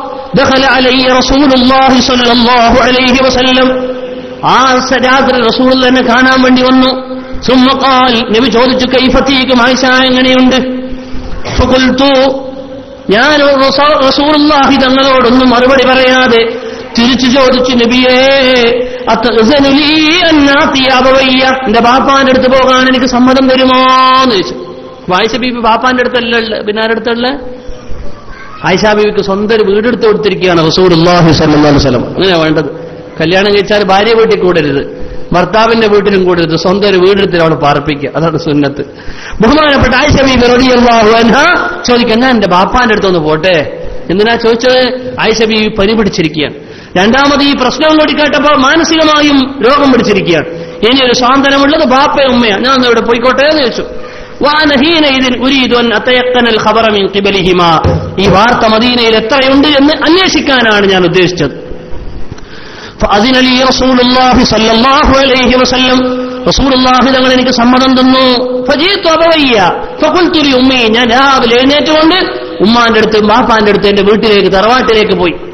അവിടെ പോയപ്പോ ഞാൻ ഉമ്മാനോട് പറഞ്ഞു ഉമ്മാ മാതാ യതഹദ്ദസു الناس എന്തൊക്കെയോ ആളുകൾ എന്നെ പറ്റി പറയുന്നുണ്ട് ഉമ്മ നിങ്ങൾ അറിയുമോ ഉമ്മ ഫഖാല ഐ ബുൻത അനി ബുനയ്യ ഐ ബുനയ്യ എന്റെ മോളെ എന്റെ ഉമ്മ പറയാൻ അനി ഐ ബുനയ്യ എന്റെ മോളെ ഹവ്വിനി അലൈക് സമാധാനിക്ക് നീ വിഷമിക്കണ്ട ടെൻഷൻ അടിക്കണ്ട فوالله لقلما كانت امرأة قط وضيئة عند رجل يحبها فلها ضرائر إلا أكثرن عليها നിന്നെപ്പോലുള്ള യുവതിയായ ഒരു പെണ്ണ് ഒന്നിലധികം ഭാര്യമാരുള്ള ഒരു ഭർത്താവിന്റെ കീഴിൽ സുന്ദരിയായ നിന്നെപ്പോലുള്ള ഒരു പെണ്ണുണ്ടായാൽ ഇതുപോലുള്ള അപരാധം കേൾക്കൽ സ്വാഭാവികമാണ് നിനക്ക് ഒരുപാട് ചക്കുളത്തിമാരുണ്ട് നിങ്ങളുടെ ഭർത്താവിന് ഒരുപാട് ഭാര്യമാരുണ്ട് അവരുടെ ഇടയിൽ ഏറ്റവും ആകൃഷ്ടയായ നിന്നെപ്പോലുള്ള ഒരാൾക്ക് അവരിൽ നിന്ന് കേൾക്കൽ സ്വാഭാവികല്ലേ? അതിലപ്പുറമൊന്നും ഇതിലില്ല. എന്ന് ബഹുമാനപ്പെട്ട ഐസബീബ് റതിയല്ലാഹു താലാൻഹയോട് തന്റെ ഉമ്മ സയ്യിദത്തുന ഉമ്മു റൗമാൻ റതിയല്ലാഹു അൻഹ സഹാബി വനിതയ പറഞ്ഞ് ആശ്വസിപ്പിച്ചു. ആ സമയത്ത് ബഹുമാനപ്പെട്ട ആയിഷബി പറയാണ് സുബാനല്ലോ അവ കത്തഹദ്ദ ഏ ഉമ്മ അറിഞ്ഞോ ഈ വിഷയം? വാപ്പ അറിഞ്ഞോ വിഷയം? ജനങ്ങളൊക്കെ അറിയോ സുഹാനം അവരൊക്കെ അറിഞ്ഞോ? ഖാലത്ത് ഐഷബി ബഹുമാനപ്പെട്ട ഐഷബി പറയാൻ ഞാൻ അന്ന് പുലരുവാളും പിറ്റേന്ന് വരെ ഞാൻ കരയുകയാണ് ഒരേ കരച്ചലാൻ പഠിച്ചോനെ ആളുകൾ മൊത്തം എന്നെ പറ്റി ഇത് പറയുന്നുണ്ടോ? ആയിഷ ബീവി ചിന്തിക്കാത്തൊരു കഥയാണ്. ബഹുമാനപ്പെട്ട ആയിഷ ബീവി റളിയല്ലാഹു തആല എന്ന് പറയാൻ ലാ ദം വലാ ഞാൻ അന്ന് ഉറങ്ങിയിട്ടേ ഇല്ല. ഞാൻ ആ രാത്രി ഉറങ്ങിയിട്ടേ ഇല്ല. എന്റെ കണ്ണുനീര് പറ്റിയിട്ടേ ഇല്ല. അവക്ക് പ്രഭാതം എനിക്ക് കരച്ചിൽ തന്നെയാണ്. ആ സമയത്ത് ബഹുമാനപ്പെട്ട സയ്യിദന റസൂലുള്ളാഹി സല്ലല്ലാഹു അലൈഹി വസല്ലം തങ്ങളവരുകൾ ഭയങ്കര വിഷമത്തിലാണ്. കാരണം ആയിഷ ബീബിനെ പറ്റിയുള്ള സംസാരം മദീനയിൽ ഇങ്ങനെ കൊടുക്കാറ്റ് പോലടിച്ച് വീഴുകയാണ് സർവ തിണ്ണകളിലും സർവ ചെരുവുകളിലും സർവ ആളുകളുടെ ഇടയിൽ തന്നെ വർത്താനം. സഹാബികൾക്ക് വിഷമം. കാരണം റസൂറുള്ള കുടുങ്ങിയിരിക്കുകയാണ്. റസൂറുള്ളക്ക് വിഷമം എന്തുകൊണ്ട്? ബഹുമാനപ്പെട്ട നബി സല്ലാഹു അലൈ വസ്ലമ തങ്ങളുടെ ഭാര്യയെ പറ്റിയല്ലേ ഇത് പറയണത്? തങ്ങൾക്ക് എങ്ങനെ ഭാര്യന്റെ ഭാഗം ചേരാൻ പറ്റുമോ എന്റെ ഭാര്യയെ പറ്റി ഒരു അപരാധം വന്നാൽ ഭാര്യന്റെ ഭാഗത്ത് കൂടിയാൽ ആളുകൾ പറയും കണ്ടില്ല സ്വന്തം ഭാര്യയെ വിചാരിച്ചപ്പോ കുഴപ്പമൊന്നുമില്ല. വേറെ ആളെ താങ്കൾ എത്ര മസാല ഉണ്ടാവും. എന്നല്ലേ ആളുകൾ പറയാ? അതുകൊണ്ട് റസൂർലാഹി തങ്ങൾക്ക് കാര്യം തെളിയാത്ത കാര്യത്തോളം കാലത്തോളം ആയിഷ ബീവിക്കെതിരെ പറയാനും സാധ്യമല്ല. കാലം കാര്യം തെളിയുന്നത് അള്ളാഹുവിന്റെ റസൂൽ അതിലേറെ വിഷമകരമാണ്. ഈ അവസ്ഥയിൽ അള്ളാഹുവിന്റെ ഭാഗത്തുനിന്നുള്ള ഒരു ഖബർ പ്രതീക്ഷിച്ച് വഹി പ്രതീക്ഷിച്ചുകൊണ്ട് സയ്യിദുനാ റസൂലുള്ളാഹി സല്ലല്ലാഹു അലൈഹി വസ്ലം ഇങ്ങനെ കാത്തു നിൽക്കുകയാണ്. ആ സമയം ബഹുമാനപ്പെട്ട നബി സല്ലാഹു അലൈഹി വസ്ലമ രണ്ടാളെ വിളിച്ചുകൊണ്ട് മുഷാവറത്ത് നടത്തി. ആരെയാണ് മുഷാവറത്ത് വിളിച്ചത്? മൂന്ന് സഹാബികളോട് മുഷാവറ നടത്തിയിട്ടുണ്ട്. ഒന്ന് സയ്യിദുന അലി റബിയാഹു سيدنا علي رضي الله عنه فدعا رسول الله عليا وأسامة بن زيد അലി റളിയല്ലാഹു അൻഹുവിനെയും ഉസാമ റളിയല്ലാഹു അൻഹുവിനെയും വിളിച്ചു വിളിച്ചിട്ട് ചോദിച്ചു അലിയെ യസ്തചീറുഹുമാ ഫീ ഫിറാഖി അഹ്ലി ഞാൻ എന്റെ ആയിഷാനെ ഒഴിവാക്കട്ടെയോ അലിയെ ഞാൻ എന്റെ ആയിഷാനെ വിരിക്കട്ടെയോ അലിയെ ഒഴിവാക്കട്ടെയോ മഹാനായ അലി റളിയല്ലാഹു അൻഹുവിനോടും സയ്യിദന ഉസാമത്തുറതി അള്ളാഹു എന്നിവിനോട് ചോദിച്ചപ്പോ അമ്മ ഉസാമ. ഐസബി പറയാം ഉസാമത്തുറതി അള്ളാഹു എന്നിവിന്റെ മറുപടി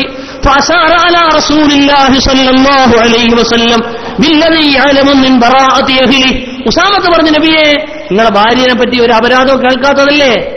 ഞങ്ങൾ ആരും ആയിഷ ബീവിനെ പറ്റി അങ്ങനത്തെ ഒരു സംശയം പോലുമില്ല അങ്ങനെയുള്ള സ്ഥിതിക്ക് ആരോ എന്തോ പറഞ്ഞതിന്റെ പേരിൽ ആയിഷ ബീബിയെ നിങ്ങൾ ഒഴിവാക്കേണ്ടതില്ല. ആയിഷ ബീവിയെ പറ്റി ഞങ്ങൾ മോശം ഇതുവരെ അറിഞ്ഞിട്ടില്ല. നല്ലതല്ലാതെ എന്ന് സയ്യിദന ഉസാമത്ത് റളിയല്ലാഹു തലാനു ഹബീബായ റസൂലുള്ളാഹി തങ്ങളോട് വിവരം കൊടുത്തു. അതേ സമയത്ത് ബഹുമാനപ്പെട്ട സയ്യിദന അലി റതി അള്ളാഹു തലാനുവിനോട് ചോദിച്ചപ്പോ മഹാനായ അലി റളിയല്ലാഹു തആല എന്ന് പറഞ്ഞു നബിയേ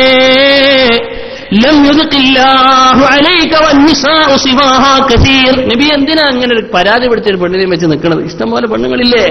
നിങ്ങൾ എന്തിനായി കുടുങ്ങിയും പിടിച്ച് നിൽക്കുന്നത് വേറെ ഒരുപാട് പെണ്ണുങ്ങളില്ലേ എന്ന് ബഹുമാനപ്പെട്ട സയ്യിദന അലി റബി ഈ രണ്ട് വാർത്ത ആർക്ക് അറിഞ്ഞു ബഹുമാനപ്പെട്ട ആയിഷ ബീബിക്ക് അറിഞ്ഞു എന്താ ഉണ്ടാകുക പിന്നെ? എന്താ ഉണ്ടാകുക? മരണം വരെ ബഹുമാനപ്പെട്ട ആയിഷ ബീബി അള്ളാഹു തലാനുവിന്റെയും അലി റളിയല്ലാഹു തലാനുവിന്റെയും ബന്ധത്തിന് അത് ബാധിച്ചിട്ടുണ്ട്. ചരിത്രം അങ്ങനെ രേഖപ്പെടുത്തുകയാണ്. ആയിഷ ബീബി അള്ളാഹു തലാനും റളിയല്ലാഹു തലാനെയും അലിയാർത്ഥങ്ങൾ ഒരുപാട് സംഘട്ടനങ്ങൾ നടന്നിട്ടുണ്ട്. ജമൽ യുദ്ധം. നാലാം ഖലീഫന്റെ കാലത്തുള്ള ഒരു യുദ്ധമാണ് ആ യുദ്ധത്തിൽ രണ്ട് ചേരിയാണ് ഒരു ചേരിയിലുള്ളത് സയ്യിദന ആയിഷ റളിയല്ലാഹു അൻഹ ഒരു ചേരിയിലുള്ളത് സയ്യിദന അലി റളിയല്ലാഹു അൻഹ. ചുരുക്കം പറയട്ടെ മഹാനായ റസൂലുള്ളാഹി സ്വല്ലല്ലാഹു അലൈഹി വസല്ലം തങ്ങളോട് അഭിപ്രായം ചോദിച്ചപ്പോൾ തങ്ങളുടെ അഭിപ്രായം ചോദിച്ചപ്പോൾ അലി റളിയല്ലാഹു തആല എന്ന് പറഞ്ഞ അഭിപ്രായം ഇതാണ്. ആ സമയം ബഹുമാനപ്പെട്ട അലിയാർ തങ്ങൾ ഒരു കൊത്തയും കൂടി- ഒരു കൊള്ള ഒരു കൊക്കയും കൂടി അവിടെ വെച്ചുകൊടുത്തു എന്താ? നബിയെ വൈന്ദ തസ്അലിൽ ജാരിയ വൈന്ദ തസ്അലിൽ ജാരിയ ആയിഷാക്ക് ഹിദ്മത്ത് ചെയ്യുന്ന ഒരു ജാരിയത്തുണ്ടല്ലോ വീട്ടിലൊരു ഹാദിമത്ത് ആയിഷാന്റെ പരിചാരകിയായ ഒരു പെണ്ണുണ്ടല്ലോ ആ പെണ്ണുങ്ങളോട് ചോദിച്ചാൽ ഖബർ. ആയിഷാക്ക് അങ്ങനെ വല്ല സ്വഭാവം ഉണ്ടോ എന്ന് അറിയാൻ കഴിയും. ചോദിച്ചാൽ കൃത്യമായി അറിയാൻ കഴിയും. ആയിഷ ബീബി പറയാൻ എന്റെ വീട്ടിലെ പരിചാരകയായ എന്റെ ഹാദിമത്തായ എന്റെ ഹൗസ് ബോയിയായ സയ്യിദത്തുന ബരീറയെ വിളിച്ചുകൊണ്ട് അള്ളാഹുവിന്റെ റസൂൽ ചോദിച്ചു ഐ ബരീറ ആയിഷ? ആയിഷാന്റെ അടുത്ത് വല്ല സംശയവും തോന്നുന്ന വല്ലതും നിങ്ങൾക്ക് എപ്പോഴും കാണാനോ അറിയാനോ ഇടയായിട്ടുണ്ടോ എന്ന് ചോദിച്ചപ്പോ ബരീറ പറഞ്ഞ മറുപടി എന്താണെന്നറിയോ? ഇമാം മുസ്ലിം തങ്ങൾ റിപ്പോർട്ട് ചെയ്യുകയാണ് ഫഖാലത്ത് ലഹു ബരീറ. ബരീറ പറഞ്ഞു ആയിഷ ബീബിന്റെ ഹാദിമത്താണ് ബരീറ. رضي الله عنها والذي بعثك بالحق. نبيه الله وان ستيم إن رأيت عليها أمرا قط أغمسه. إن رأيت علي إن رأيت عليها أمرا قط أغمسه عليها. أكثر من أنها هدي جارية حديثة السن تنام عن دين غلها ബഹുമാനപ്പെട്ട അലൈഹി വസല്ലമയോട് പറയാൻ ആയിഷാന്റെ അടുത്ത് ഒരു തെറ്റും ഇന്നേ വരെ എനിക്ക് കാണാനോ അറിയാനോ ഇടയായിട്ടില്ല. ഒരു കാര്യം ഒഴിച്ച് ഒരു കാര്യം ആയിഷ ബീവിക്കുണ്ട്. എന്താ? ആയിഷ ബീവി ഗഫലത്ത് കൂടുതലുള്ള ആളാണ് അങ്ങനെ മാവ് അരക്കുമ്പോ ഒക്കെ ചിലപ്പോ ഇങ്ങനെ ഉറങ്ങും. ഉറങ്ങിയിട്ട് വന്നിട്ട് ആട് കുട്ടികൾ വന്നിട്ട് മാവ് ഇങ്ങനെ തിന്ന് പോയിട്ടുണ്ടാവും. മുപ്പത്തി ഇങ്ങനെ അരക്കുന്നുണ്ടാവും. അരച്ചിട്ട് പത്തിരി ചുടേണ്ട മാഴവാക്ക് നേരത്തെ തന്നെ ആടുകുട്ടികൾ വന്നിട്ട് പത്തിരി ചുട്ട് തിന്ന് പോയിട്ടുണ്ടാവും. ഇങ്ങനെ ഒരു ഗഫലത്തുള്ള ഒരു പെണ്ണ് എന്ന് ചോദിച്ചാൽ ആയിഷ ബീവിക്ക് അങ്ങനെ ഒരു സ്വഭാവം ഇല്ല ഇത് ആയിഷ ബീവിന്റെ മധുഹാണ് മൂമിനാത്തുകൾക്ക് മൂമിനിയങ്ങൾക്ക് ഗഫലത്ത് എന്നത് ഒരു മധുഹാണത് കാഫിര്യങ്ങൾക്ക് ഒരു ഗഫലത്തുണ്ട് ആ ഗഫലത്തല്ല മൂമിനീങ്ങൾക്ക് ഗഫലത്ത് അത് മധുഹ ബഹുമാനപ്പെട്ട ആയിഷ ബീബി അള്ളാഹു അൻഹ അത്ര ദുനിയാവിന്റെ കാര്യത്തിൽ അത്ര ശ്രദ്ധിക്കലുള്ളൂ എന്നാ പറഞ്ഞതിനർത്ഥം അങ്ങനെയുള്ള ഒരു സഹോദരിയാണ് ബഹുമാനപ്പെട്ട സയ്യിദന ആയിഷ അള്ളാഹു അൻഹ എന്ന് ബരീറ ബഹുമാനപ്പെട്ട നബി സല്ലല്ലാഹു അലൈഹി വസ്ലമ തങ്ങളോട് മറുപടി പറഞ്ഞു. ചുരുക്കി പറയട്ടെ ബഹുമാനപ്പെട്ട നബി സല്ലല്ലാഹു അലൈഹി വസ്ലമ തങ്ങൾ സഹാബികളെ വിളിച്ചു. ഈ അഭിപ്രായമൊക്കെ കേട്ടപ്പോ ഒരാളോട് ചോദിച്ചു ബഹുമാനപ്പെട്ട ഉസാമത്തിനോട് ഉസാമത്ത് പറഞ്ഞു അനുകൂലമായിട്ടാ അലിയാർ തങ്ങളോട് അഭിപ്രായം ചോദിച്ചു അലിയാർ തങ്ങൾ പറഞ്ഞു ഒന്ന് ആ പെൺകുട്ടിയോട് ചോദിച്ചാളാ. ആ പെൺകുട്ടി പറഞ്ഞു നല്ല പെണ്ണാണ്. അപ്പൊ ആളുകളൊക്കെ നല്ലതേ പറയുന്നുള്ള നബിയോട്. ഇനിയിപ്പോ എന്താ ചെയ്യാ? ഈ ആയിഷാൻ ഒഴിവാക്കണ്ടെന്നെ പക്ഷേ ആളുകൾ ഇങ്ങനെ പറയല്ലേ? ആളുകളുടെ ഇങ്ങനെ പ്രചരിപ്പിക്കല്ലേ? പ്രചരിപ്പിക്കുന്നത് ആരാണ്? അത് ഈ മുനാഫിക്കുകളാണ് അള്ളാഹുവിന്റെ റസൂൽ സഹാബത്തിനെ മുഴുവനും വിളിച്ചുകൂട്ടി. മദീന പള്ളിയിൽ വിളിച്ചു കൂട്ടിയിട്ട് മിമ്പറിൽ കയറി വഹുവ അലൽ മിമ്പർ. മിമ്പറിൽ കയറിയിട്ട് അവിടുന്ന് പറഞ്ഞു യാ മഅശറൽ മുസ്ലിമീൻ. ഓ മുസ്ലിമീങ്ങളെ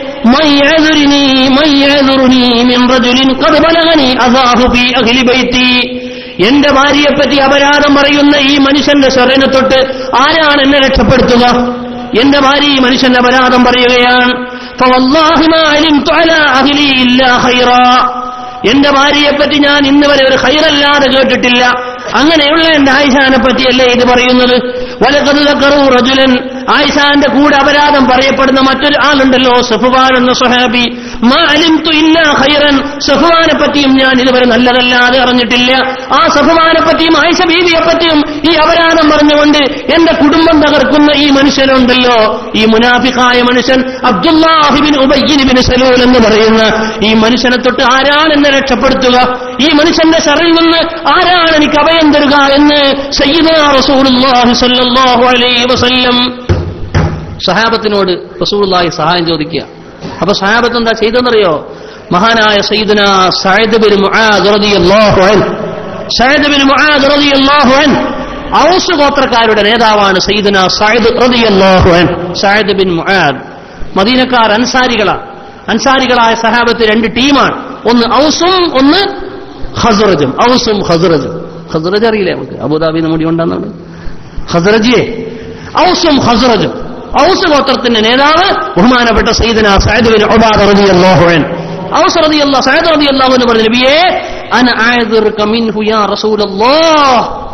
ഞാൻ നിങ്ങൾക്ക് സഹായമല്ലേ വേണ്ട ഞാൻ സഹായം തരാം. ഇതാ ഞാൻ ഇത് എഴുന്നേറ്റിരിക്കുക.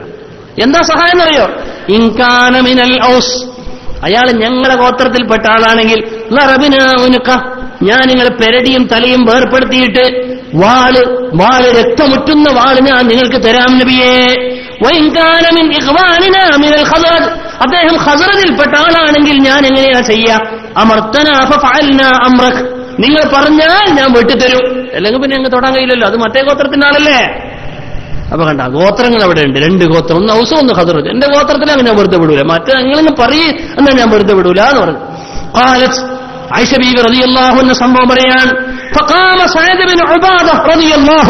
രണ്ടാമത്തെ സഹാബി. നേരത്തെ ആരാ പറഞ്ഞ്? സയദ് ബിൻ മുആദ് ഔസിന്റെ നേതാവ്. ഇനി ഖദറജുകളുടെ നേതാവ് എഴുന്നേറ്റുന്നു ആരാണത്? സയ്യിദുന Saad bin Saad bin Ubadah റളിയല്ലാഹു. രണ്ട് സയദന്നെ ഒന്ന് സയദ് ബിൻ മുആദാണ് ഒന്ന് Saad bin Ubadah. Saad bin Ubadah എഴുന്നേറ്റ് നിന്നിട്ട് മൂപ്പർ ആരാന്നറിയോ ഖസറജുകളുടെ നേതാവ് മൂപ്പര്. വഹുവ ഹസറത്ത് മൂപ്പർ എന്താ പറഞ്ഞ്? വക്കാന റജുലൻ സാലിഹ. നല്ല മനുഷ്യനായിരുന്നു മൂപ്പര് ഹമീയ. പക്ഷേ സ്വാഭാവികം ഏത് മനുഷ്യന്മാർക്കും കൗടംബികതകൾ വൈകാരിക ചിന്തകൾ മനുഷ്യന്മാർക്ക് സ്വാഭാവികമാണ്. അത് മൂപ്പരെയും പിടികൂടി. എന്താണത്? Saad bin Muadh Saad bin Ubadah എന്ന ഖദർജികളുടെ നേതാവ് ഔസിന്റെ നേതാവ് സാഹിബിൻ മുഹാദിന് മറുപടി. എന്താ മറുപടി? കൊല്ലൂലടാ തൊടാൻ കഴിയൂല. ഞങ്ങളിൽപ്പെട്ട ഒരാളെ തൊടാനോ? വെയിലുണ്ട് ഇങ്ങോട്ട് വന്നു.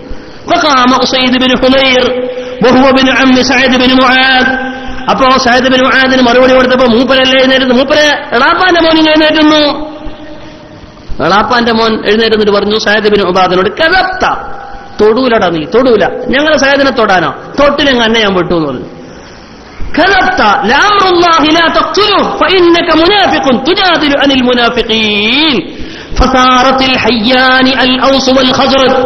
അപ്പൊ വേറൊരാളെ എഴുതുന്ന മറുപടി അങ്ങോട്ടും ഇങ്ങോട്ടും മറുപടി കുഴപ്പമായി. എന്തിനാ വിളിച്ചു കൂട്ടിയത്? ഈ മുനാഫിക്കുന്നൊന്ന് രക്ഷപ്പെടാൻ. അപ്പോ അതിനെ ചേരിതിരിഞ്ഞ് സഹാബത്ത് രണ്ട് ടീമായി മഹാനായ റസൂലുള്ളാഹി സല്ലല്ലാഹു അലൈഹി വസല്ലം തങ്ങൾക്ക് വിഷമത്തിന്റെ മോൾ വിഷമം. മദീന പള്ളിയിൽ വെച്ച് രണ്ട് ഗോത്രങ്ങൾ തമ്മിൽ പ്രശ്നമായി. അത്താ അംഹമ്മു അയ്യക്കത്തത്തിലു ഒരു യുദ്ധാന്തരീക്ഷം മദീന പള്ളിയിലുണ്ടായി. അള്ളാഹുവിന്റെ റസൂൽ മിമ്പറിൽ നിൽക്കവെയാണ്. നിങ്ങൾ ആലോചിച്ചൊക്കെ? മദീനയിൽ മദീനയിൽ സഹാബത്തിനിടയിൽ ഉണ്ടായതാണ് ഫലം അള്ളാഹുവിന്റെ റസൂൽ അവരെ ഇരുത്തി. അവരൊക്കെ അടങ്ങിയപ്പോ റസൂലുള്ളാഹി അടങ്ങി.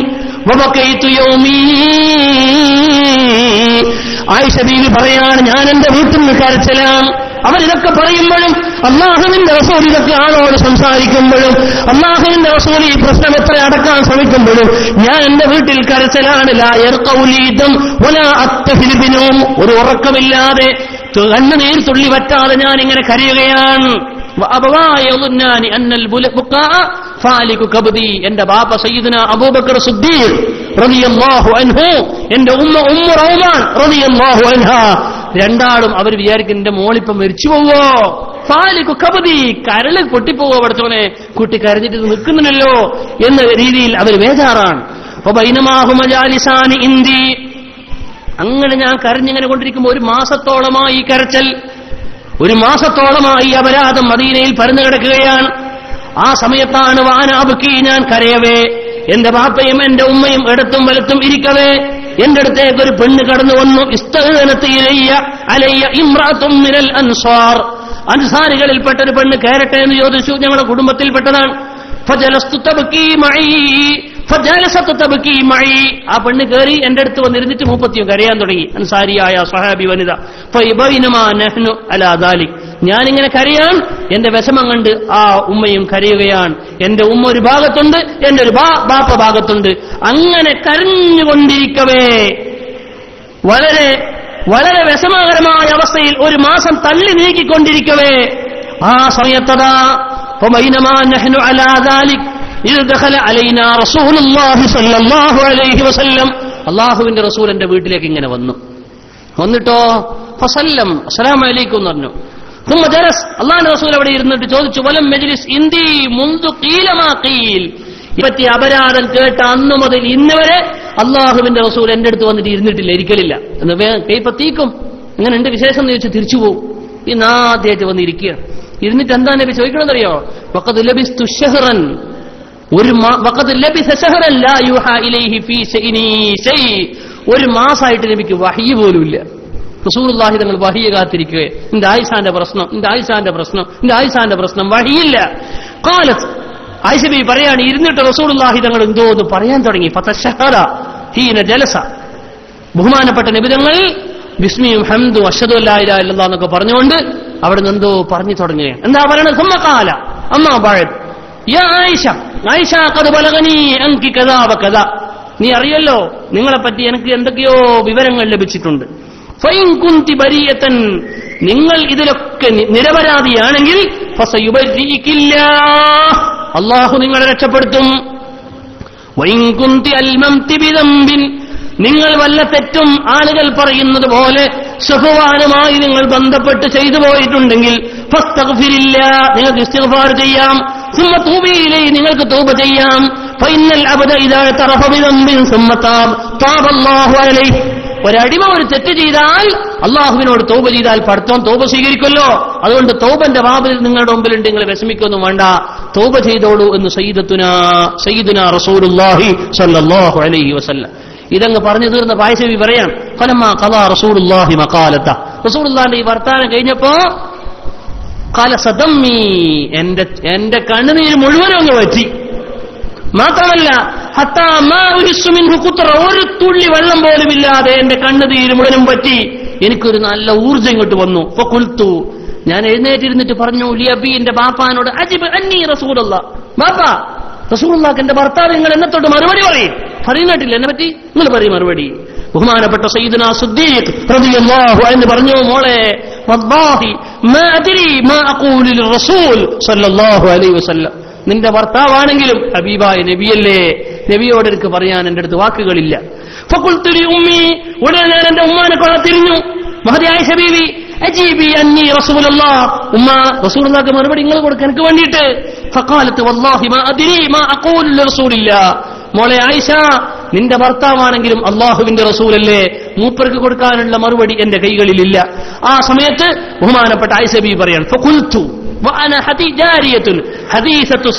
ചെറുപ്പക്കാരിയായ കുട്ടിയായ ഞാൻ ഞാൻ ഉടനെ മറുപടി കൊടുത്തു.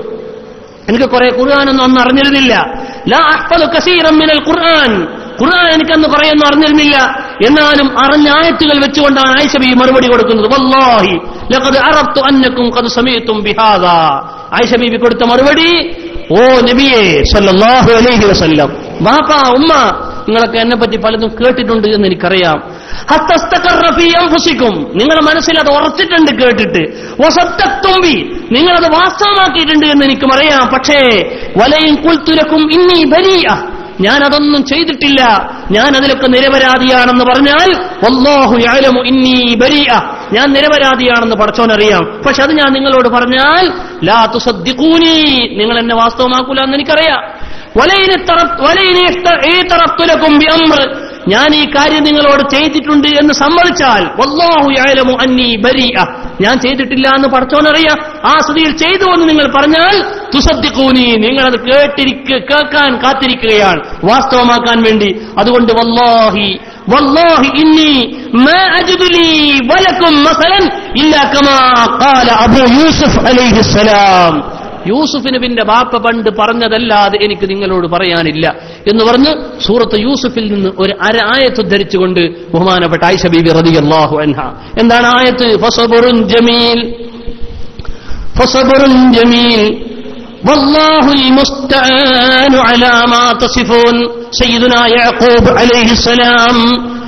യാക്കൂബ് നബി അലൈഹിസലാം അങ്ങേറ്റം കുടുങ്ങിയ സമയത്ത് പറഞ്ഞൊരു വാചകമാണത്.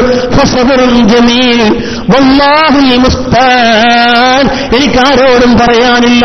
എനിക്ക് സമയമില്ല. സമയമില്ലാതെ മറ്റു മാർഗമില്ല.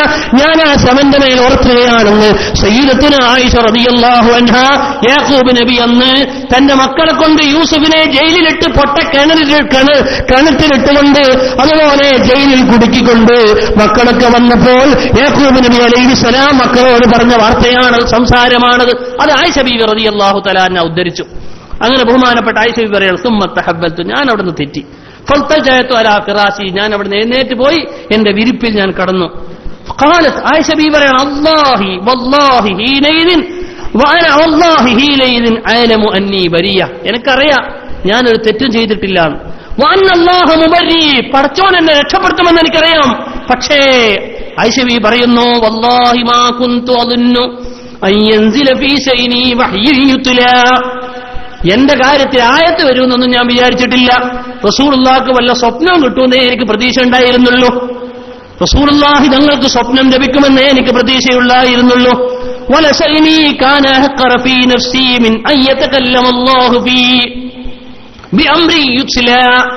എന്നെപ്പറ്റി ഖുർആാനിൽ ഒരായത്ത് ഇറങ്ങാൻ മാത്രം യോഗ്യതയൊന്നും എനിക്കുണ്ട് എന്നെനിക്ക് വിശ്വാസമില്ല. എനിക്കറിയാതെ ഖുർആാനിൽ ഒരായത്തെന്നെ പറ്റി ഇറങ്ങാൻ മാത്രമൊന്നും എനിക്ക് കഴിവില്ല. റസൂലുള്ളാഹ്ക്ക് വല്ല സ്വപ്നത്തിലൂടെയോ ഇൽഹാമിലൂടെയോ അള്ളാഹു വിവരം കൊടുക്കുമെന്ന് മാത്രമാണ് ഞാൻ മനസ്സിലാക്കിയത്. പക്ഷേ ബഹുമാനപ്പെട്ട ഐഷബീബ് എന്ന് പറയാൻ ആ സമയത്ത് വലാ മിൻ അഹ്ലും അഹദും മിൻ അഹ്ലിൽ ബൈത്ത്. ആ സദസ്സിൽ നിന്ന് മറ്റുള്ള ഒരാളും എഴുന്നേറ്റിട്ടില്ല. എഴുന്നേൽക്കുമ്പോഴേക്ക് റസൂലുള്ളാഹിക്ക് വഹി വരുന്ന മാലാക ജിബ്രീൽ അലൈഹിസ്സലാം ഒരു മാസത്തോളം മുറിഞ്ഞു നിന്ന വഹിയതാ തിരിഞ്ഞു വരികയാണ്. റസൂലുള്ളാഹി തങ്ങൾക്ക് നെറ്റി വിയർക്കാൻ തുടങ്ങി. വഹിയന്റെ ലക്ഷണങ്ങൾ കണ്ടു. സഹാബത്തൊക്കെ അർഖ്. വിയർപ്പിന്റെ തുള്ളികൾ ഇങ്ങനെ ഉറ്റിയുറ്റി വീഴുന്നു. ആ സമയത്ത് ബഹുമാനപ്പെട്ട റസൂലുള്ളാഹി സ്വല്ലല്ലാഹു അലൈഹി വസല്ലം തങ്ങളെ സഹാബത്ത് ഇങ്ങനെ നോക്കി നിൽക്കുകയാണ്. ആ വഹി ഇങ്ങനെ കാത്തിരിക്കുകയാണ്. ആ വഹി നിരച്ചു. റസൂലുള്ളാഹി തങ്ങളുടെ മുഖത്ത് സന്തോഷം വന്നു. അൻ റസൂലുള്ളാഹി സ്വല്ലല്ലാഹു അലൈഹി വസല്ലം വഹുവ യൽഹഖ്. നബി തങ്ങൾ ആയത്തുകൾ ഓതാൻ തുടങ്ങി.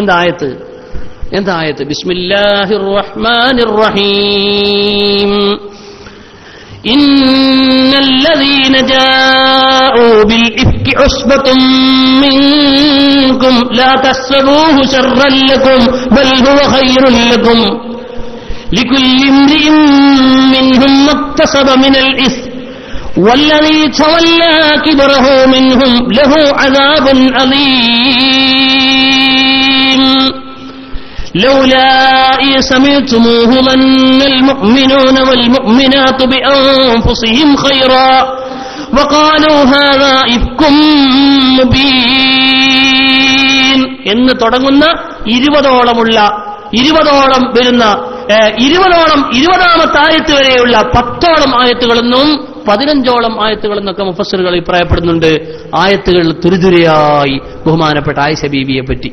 അപ്പൊ സൂറത്ത് നൂറിന്റെ പത്താമത്തെ ആയത്ത് മുതൽ ഇരുപതാമത് വരെയുള്ള ആയത്ത് ആയിഷ ബീബി റതി അള്ളാഹു അനായെ രക്ഷപ്പെടുത്തിക്കൊണ്ട് അഥവാ ഈ ആരോപണത്തിൽ നിന്ന് വിമുക്തമാക്കിക്കൊണ്ടിറങ്ങിയ ആയത്താണ്. ആയിഷ ബീബി ആ ആയത്തിലൂടെ ഇങ്ങനെ ജീവിക്കുകയാണ്. മൂമിനിയങ്ങൾ ഇങ്ങനെ ഓതുമ്പോൾ ആയിഷ ബീബിയെ പറ്റി ഇങ്ങനെ സ്മരിച്ചുകൊണ്ടിരിക്കുകയാണ്.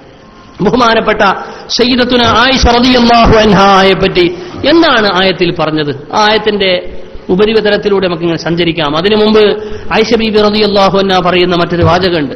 മഹാനായ റസൂലുള്ളാഹി സയ്യിദുന റസൂലുള്ളാഹി സ്വല്ലല്ലാഹു അലൈഹി വസല്ലം എന്നെ പറ്റി സംശയിച്ചപ്പോൾ മൂന്നാളുകളോടാണ് അന്വേഷിച്ചത്. ആരാ? ഒരാൾ?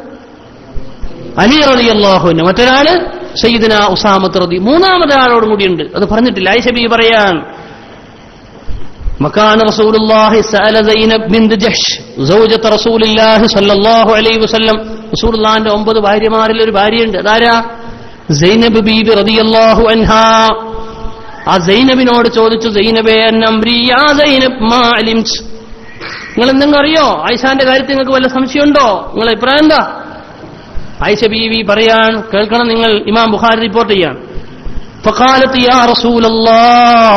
ആയിഷ ബീബിയോട് റസൂർഹി തങ്ങളോട് ഞാൻ എന്റെ കണ്ണിനെയും കാതിനെയും സൂക്ഷിക്കുന്ന നബിയെ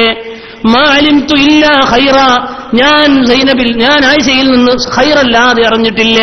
ആരാണ് സൈനബ് എന്നറിയോ ആയിഷ റതിയല്ലാഹു എന്ന് പറയാൻ وهي التي كانت تسمي تساميني من أزواج رسول الله صلى الله عليه وسلم നബി തങ്ങൾക്ക് ഒമ്പത് ഭാര്യമാരുണ്ടായിരുന്നെങ്കിൽ ആ ഒമ്പത് ഭാര്യമാരിൽ നിന്ന് എന്നോട് എല്ലാത്തിനും കടപിടിച്ച് നിൽക്കുന്ന അടുത്ത് നിൽക്കാൻ പറ്റുന്ന ഒരാളെ ഉണ്ടായിരുന്നുള്ളൂ അതാരാ അത് സൈനബ ഏതാണ്ട് അള്ളാഹുവിന്റെ റസൂല് ഒരു ചെറിയ പെൺകുട്ടിയെ കല്യാണം കഴിച്ചത് അവിവാഹിതയായ വിക്രായ ഒരു പെണ്ണിനെ അള്ളാന്റെ റസൂൽ കല്യാണം കഴിച്ചത്. അത് ആയിഷ ബീബിനെ മാത്രം ബാക്കിയൊക്കെ കെട്ടി ബാക്കി രണ്ടാം കെട്ടും മൂന്നാം ഘട്ടമൊക്കെയാണ് ഖദീജ ബീബി റതി അള്ളാഹുവനാണ് ഒന്നാമത്തെ ഭാര്യ. ഖദീജ ബീബിനെ പലരും കെട്ടി വിവാഹമോചനം നടത്തിയിട്ടുണ്ട്. അതിനു മുമ്പ് ഖദീജ ബീവിയെ ബഹുമാനപ്പെട്ട നബിതങ്ങൾ വിവാഹം ചെയ്യുമ്പോൾ നാൽപ്പത് വയസ്സാണ്. സൗദ ബീവിക്ക് പ്രായമുണ്ട് ഹർഷ ബീവിക്ക് പ്രായമുണ്ട്. ഒക്കെ എല്ലാം ഒന്ന് കെട്ടിയതിനു ശേഷം കെട്ടിയതാണ്. ബിക്കറായി ആദ്യമായി വിവാഹം ചെയ്യപ്പെട്ട പെണ്ണ് എന്ന നിലയ്ക്ക് ഞാൻ മാത്രമേ അള്ളാഹുവിന്റെ റസൂലിനുള്ളൂ. അത്രയും സുന്ദരിയായ അത്രയും ബുദ്ധിമതിയായ അത്രയും ഭർത്താവിനെ ആകർഷിപ്പിക്കുന്ന ഒരു പെണ്ണ് എന്ന നിലയ്ക്ക് എനിക്ക് ഒരുപാട് പ്രത്യേകതകളുണ്ട്. എന്നാൽ ഞാൻ കഴിഞ്ഞാൽ മറ്റു ഭാര്യമാരുടെ കൂട്ടത്തിൽ എന്നോട് ഏറ്റവും അടുത്തു നിൽക്കുന്നത് ബഹുമാനപ്പെട്ട സയ്യിദുനത്തുന സൈനബ് അതുകൊണ്ട് തന്നെ ചക്കുളത്തി പോരിൽ എന്നോട് തൊട്ടടുത്ത് നിൽക്കുന്ന ആളായിരിക്കും ആരായിരിക്കും? അത് ദൈനവായിരിക്കും ആ ദൈനവ എന്നെ പറ്റി നല്ലത് പറഞ്ഞത്. ബഹുമാനപ്പെട്ട സയ്യിദത്തുന റളിയല്ലാഹു എന്നെ പറ്റി നല്ലതേ പറഞ്ഞിട്ടുള്ളൂ. തആല ബിൽ ബഹുമാനപ്പെട്ട സൈനബ് ബീവിയെ അള്ളാഹു താല എന്റെ ആരോപണം പറയുന്നെന്ന് പഠിച്ചവൻ രക്ഷപ്പെടുത്തിയിട്ടുണ്ട്. അള്ളാഹു താല സൈനബീനെ രക്ഷപ്പെടുത്തിയിട്ടുണ്ട്. കുറച്ചാളുകൾ അതിൽ പെട്ടുപോയത് സൈനബ് ഇതിന് ഒഴിവാണ് എന്നാണ് ആളുകൾ പറഞ്ഞത്. ആളുകൾ പറഞ്ഞപ്പോൾ എന്താ സംഭവിച്ചത്? ബിസ്മില്ലാഹിർ റഹ്മാനിർ റഹീം ഇന്നല്ലദീന ബിൽ ആയിഷ ബീവിയെ പറ്റി ആരോപണം പറഞ്ഞവർ ഒരാളല്ല രണ്ടാളല്ല ഉസ്ബത്തും മിങ്കും. നിങ്ങളിൽപ്പെട്ടൊരു സംഘം ആളുകൾ പറഞ്ഞിട്ടുണ്ട്. നിങ്ങൾ വിചാരിക്കേണ്ട ആയിഷ ലാ തഹ്സബൂഹു ശർറൻ ലക്കും. നിങ്ങൾ തളർന്നുപോയി ഒരു മാസം നിങ്ങൾ കിടത്തി. നിങ്ങൾ അങ്ങേയറ്റം തളർന്നുപോയ ആ സംഭവം നിങ്ങൾക്ക് ദോഷമല്ല. ബൽ ഹുവ ഖൈറുൽ ലക്കും. നിങ്ങൾക്കത് ഉത്തമമാണ്. നിങ്ങളെ പറ്റിയുള്ള എല്ലാ അപരാധങ്ങളും ആളുകളിൽ നിന്നും തകർന്നടിഞ്ഞു പോയിട്ടുണ്ട്. മാത്രമല്ല ആളുകൾക്ക് നിങ്ങളെപ്പറ്റി മതിപ്പ് വർദ്ധിച്ചിട്ടുണ്ട്. മാത്രമല്ല അതിനാൽ നിങ്ങൾക്ക് പരലോകത്തുന്നതമായ ഗുണങ്ങളുണ്ട്. ലാ തസ്സബൂഹു ശർറല്ലക്കും അത് നിങ്ങൾക്ക് ദോഷമായിട്ടില്ല. വൽഹുവഹൈറുല്ലക്കും ആയിഷ ബീവി ക്ഷമിച്ചു. അങ്ങേയറ്റം ക്ഷമിച്ചു. ആരാണ് ആ സമയത്ത് ക്ഷമിക്കുക? തളർന്നു പോകൂലേ. ആളുകൾ മുഴുവനും ഒരു നാട് മുഴുവനും ഒരു നഗരം മുഴുവനും തന്നെപ്പറ്റി അപരാധം പറയാം. മനുഷ്യൻ മരിച്ചു പോകുന്ന ആത്മഹത്യക്ക് മുതിർന്നു പോകുന്ന ഈ ദുനിയാവിനോട് മടുത്തു പോകുന്ന നിമിഷമാണ്. ഐഷ ബീവി ആ ഭാഗത്തേക്ക് ചിന്തിച്ചിട്ടെന്നെ ഇല്ല ക്ഷമിച്ചു ഐഷ ബീവി. അള്ളാഹു അതിന് കൂലി കൊടുക്കും.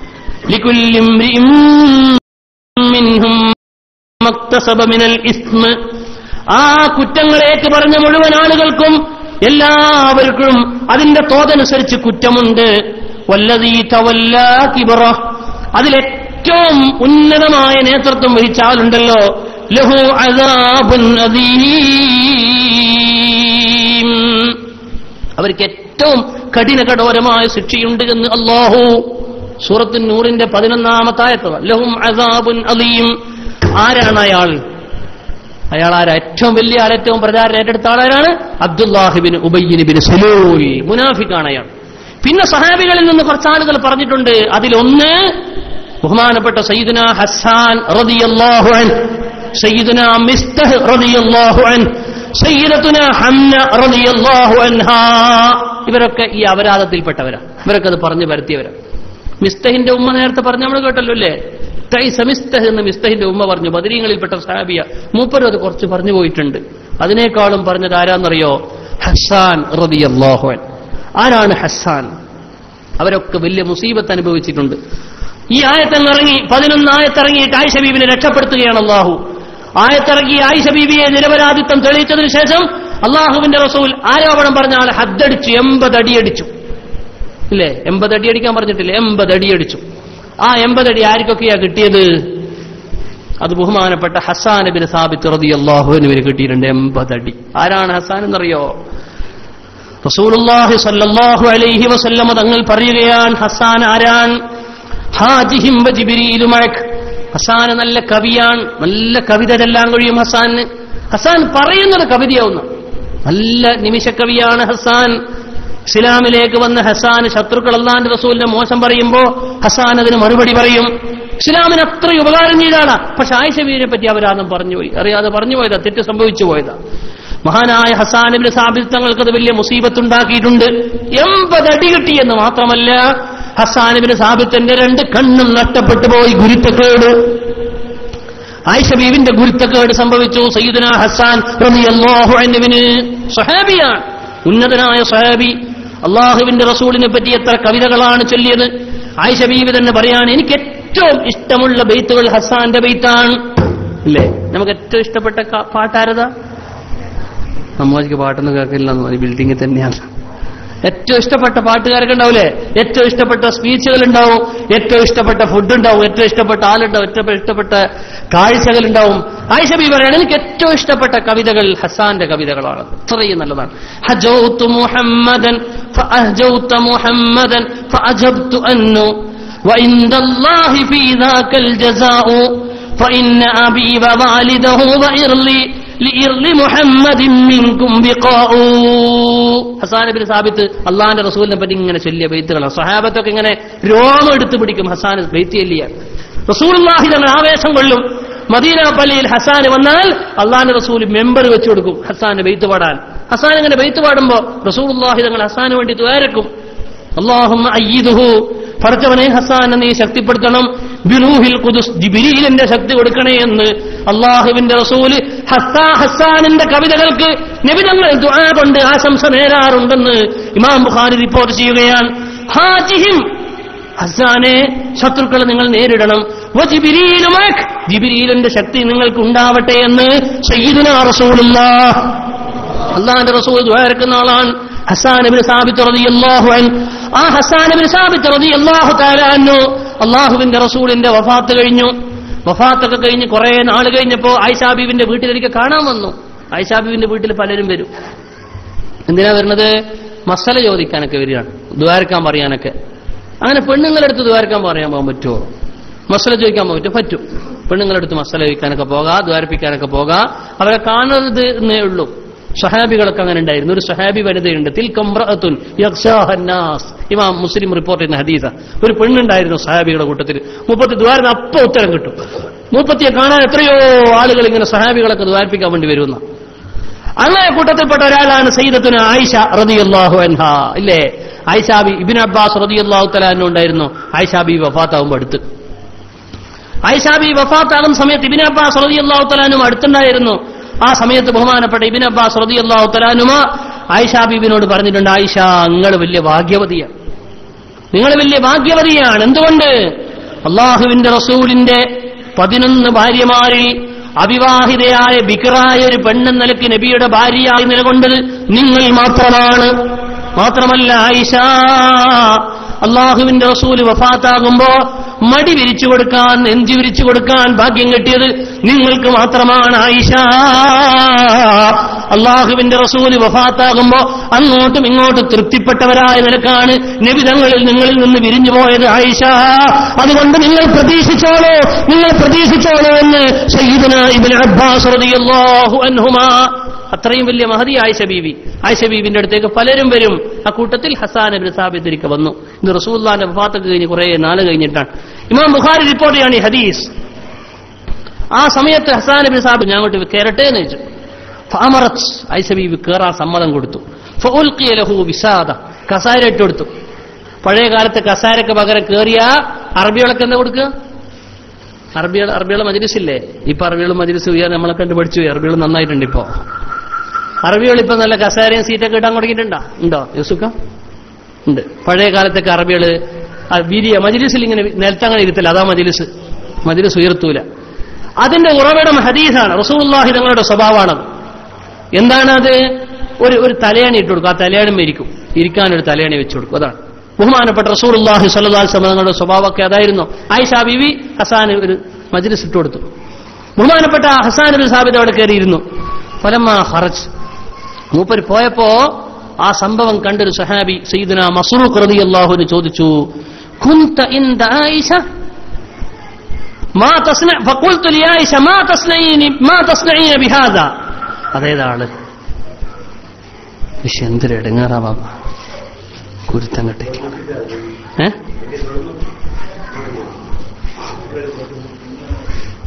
ആ പറയാ. ഞാൻ നിർത്തുകയാണ്. ഒമ്പത് മണിക്ക് നിർത്തണം എന്ന് വിചാരിച്ച. ഒമ്പത് മണിക്ക് നിർത്താന്ന് വിചാരിച്ച സമയമായിട്ടുണ്ട് ബഹുമാനപ്പെട്ട സയ്യിദന ഹസാൻ റളിയല്ലാഹു തആല അൻഹു തങ്ങൾ എന്തിനാ ഇങ്ങോട്ട് വന്നത് യദ്ഖുലു അലൈക് നിങ്ങൾ എങ്ങനെയാ സമ്മതം കൊടുത്തത് എന്ന് മസൂഖ് റളിയല്ലാഹു തആല അൻഹു ആയിഷാ ബീവിനോട് ചോദിച്ചു ആയിഷാ ബി പറഞ്ഞു وقد قال الله تعالى والذي تولى كبره منهم له عذاب أليم അള്ളാഹുവിന്റെ റസൂലിന്റെ ഭാര്യ ആയിഷാബീബിന്റെ അപരാധം ഏറ്റെടുത്ത ആളുകൾ അവരെപ്പറ്റി വേദനാജനകമായ ശിക്ഷ അവർക്കുണ്ട് എന്ന് പറഞ്ഞിട്ടില്ലേ? അതിൽപ്പെട്ട ആളല്ലേ ഹസാന് മൂപ്പർ എന്തിനാ നിങ്ങളെ വീട്ടിലേക്ക് കയറ്റിയത് എന്ന്? മസൂഖ്ലാഹു ആയിഷ ബീവിയോട് ചോദിച്ചപ്പോ കാലക്സ് ആയിഷ ബീവിന്റെ മറുപടി എന്താണെന്നറിയോ? അല്ല അതാബുണ്ടെന്നല്ലേ പറഞ്ഞത്? എന്നെപ്പറ്റി അവരാണ് പറഞ്ഞവരെ പറ്റി സൂറത്തുന്നൂറിന്റെ പതിനൊന്നാമത്തെ ആയത്തിൽ പറഞ്ഞു.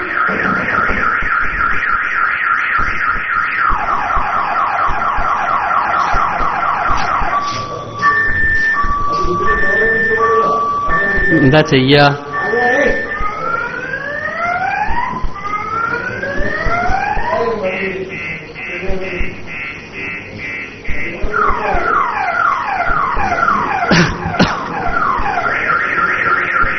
ആ കേടന്ന് പറഞ്ഞോട്ടെ. ഞാൻ വണ്ടിയിലും പോകില്ലേ കൂടി. നിങ്ങൾ ശ്രദ്ധിക്കുക. ചെറുപ്പേ വല്ലാത്തൊരു നാട്ടുകാരൻ നിങ്ങൾ അതാബുൻ നദീ എന്ന് പറയുന്നത്.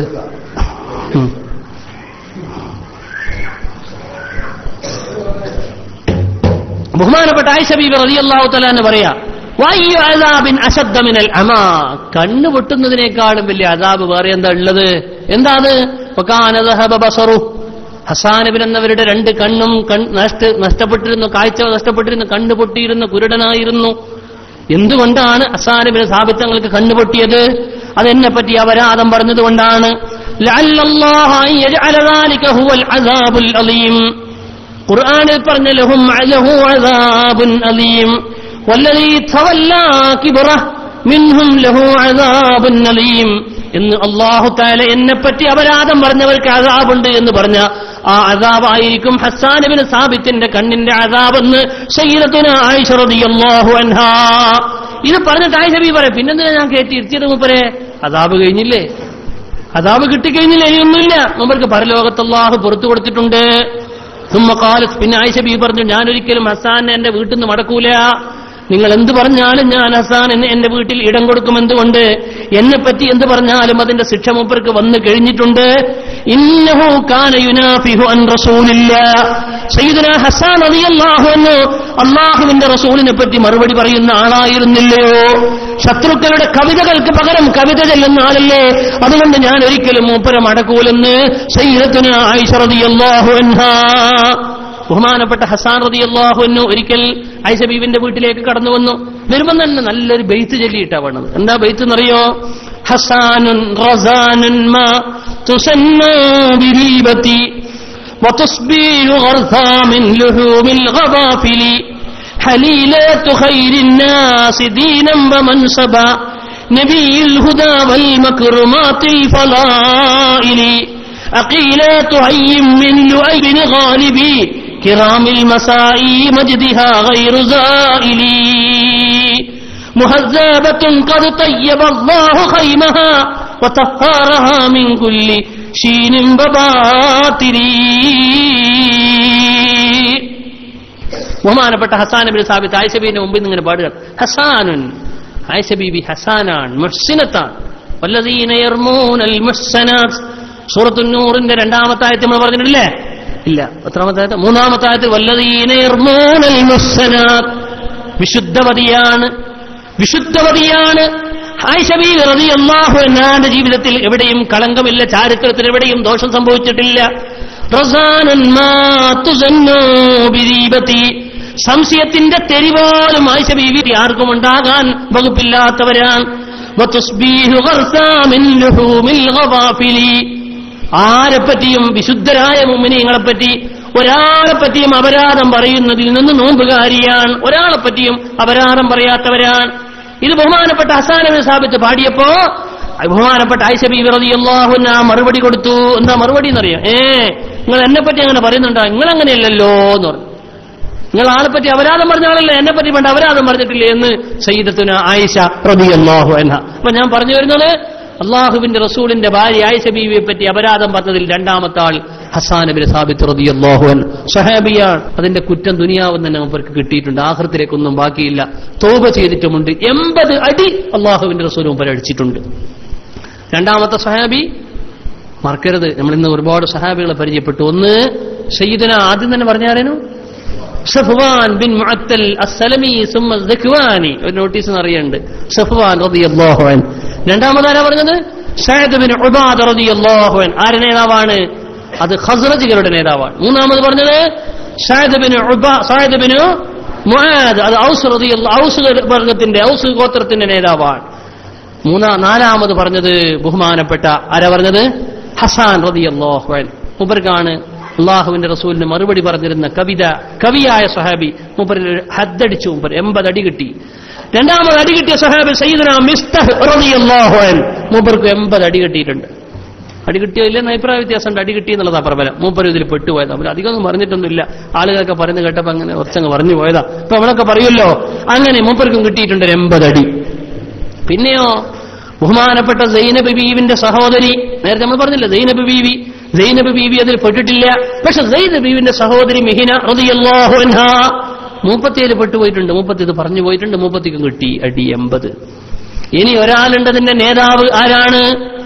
അബ്ദുള്ള അബ്ദുള്ള മൗലവി ഇല്ലേ? അബ്ദുല്ലാഹിബിന് ഉബയ്യനിബിന് സലൂൽ അബ്ദുല്ലാഹിബിന് ഉബയ്യനിബിന് സലൂൽ മൂപ്പർക്കും കിട്ടിയിട്ടുണ്ടോ? ചരിത്രത്തിൽ അഭിപ്രായ വ്യത്യാസം. മൂപ്പർക്ക് അടി കിട്ടിയിട്ടില്ല മൂപ്പർ റസൂൽ അടിച്ചിട്ടില്ല. എന്തിനാ അതിനെ അടിക്കണത്? അടിച്ചിട്ട് അതിന്റെ അതിന്റെ ശിക്ഷ ദുനിയാവെന്ന് കഴിക്കണ്ട. അത് ആഹൃത്തിലേക്ക് റസൂർ റസൂർഹി സല്ലാസനോ അതിന് കിട്ടട്ടെ പരലോകത്ത് പഠിച്ചവന്റെ അടി കിട്ടട്ടെ എന്റെ അടി കൊടുക്കണ്ട. ഇനി അടിച്ചിട്ടുണ്ടെന്ന് അഭിപ്രായമുണ്ട്. ഇനി അയാൾ അടിച്ചാൽ തന്നെ അയാൾ ശിക്ഷ ഒഴിവാവൂല. അയാൾ മുനാഫിക്കാണ്. മുനാഫിക്ക് എന്ന് പറഞ്ഞാൽ അസിൽ കാഫറാണ് അയാൾ.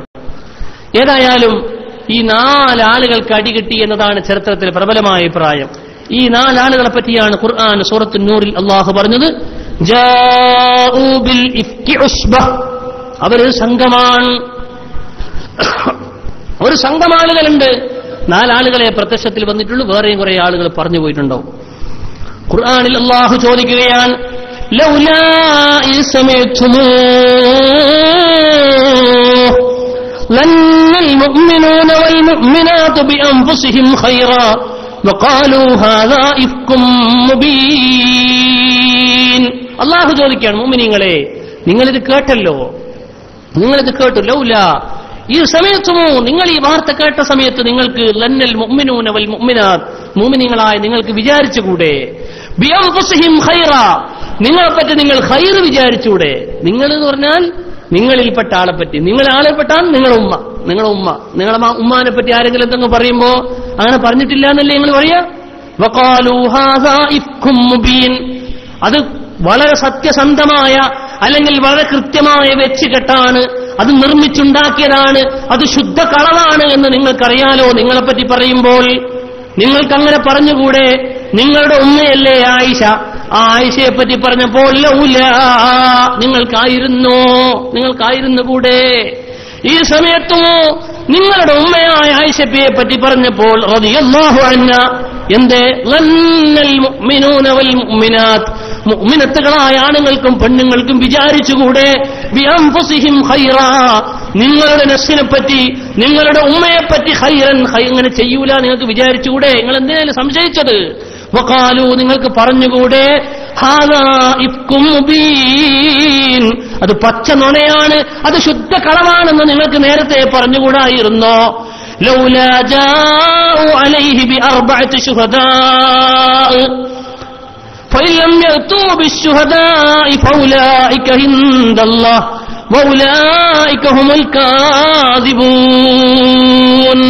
അവർ നാല് സാക്ഷികളെ കൊണ്ടുവരാത്ത സമയം. വ്യഭിചാര ആരോപണം ഉന്നയിക്കുമ്പോൾ സാക്ഷികളെ കൊണ്ടുവരണ്ടേ? അവർ നാല് സാക്ഷികളെ കൊണ്ടുവരാത്ത സമയത്ത് അവർ കളവാണ് പറഞ്ഞത് എന്ന് നിങ്ങൾക്ക് പറഞ്ഞുകൂടെ എന്ന് അള്ളാഹു സുബാനുഭവത്തല നിങ്ങളോട് ചോദിക്കുകയാണ്. നിങ്ങൾ എന്തിനാ ഇത്ര ആശങ്കിച്ചത്? ആയിഷാബിനെ പറ്റി ഒരു അപരാധം കേൾക്കുമ്പോഴത്തേക്ക് ആശ ആശങ്കിക്കുകയാണോ? ഒരിക്കലും ആശങ്കിക്കരുത്. ആരെപ്പറ്റിയും ആശങ്കിക്കരുത്. നാലാളുകൾ സാക്ഷി നിന്നാൽ മാത്രമേ ആ തെളിവ് സ്ഥിരപ്പെടുമായിരുന്നുള്ളൂ. അതിനു മുമ്പ് നിങ്ങൾ ആശങ്കിച്ചത് തെറ്റായിരുന്നു അള്ളാഹു സുബാനുഭവത്താലെ തിരുത്തി പറയുകയാണ്. അള്ളാഹു സുബാനഹുവത്താല ഇത്തരം ഇഫ്കുകൾ സംഭവിക്കുന്ന മുഗ്മിനീങ്ങളിൽ നിന്ന് നമ്മളെ രക്ഷപ്പെടുത്തി തരട്ടെ നാവിലൂടെ ഒരു മുഗ്മിനായ മനുഷ്യനെ പറ്റി മോശം പറയുന്ന അവസ്ഥ വന്നാൽ ഒരു മുമ്മിനെ പറ്റി അറിയാതെ അപരാധം പറയുന്ന അവസ്ഥ വന്നാൽ അവനിക്ക് വേദനാജനകമായ ശിക്ഷ ഖുർആാനിൽ പറയുന്നുണ്ട് സുമ്മലം യഥൂബു ഫലഹും അദാബു ജഹന്നം. അവർക്ക് ജഹന്നമിൽ അവർക്ക് ശിക്ഷയുണ്ട്. മാത്രമല്ല വലഹും അദാബുൽ ഹരീഖ് അവർ നരകത്തിലാണെന്ന് അള്ളാഹു പറയുകയാണ്.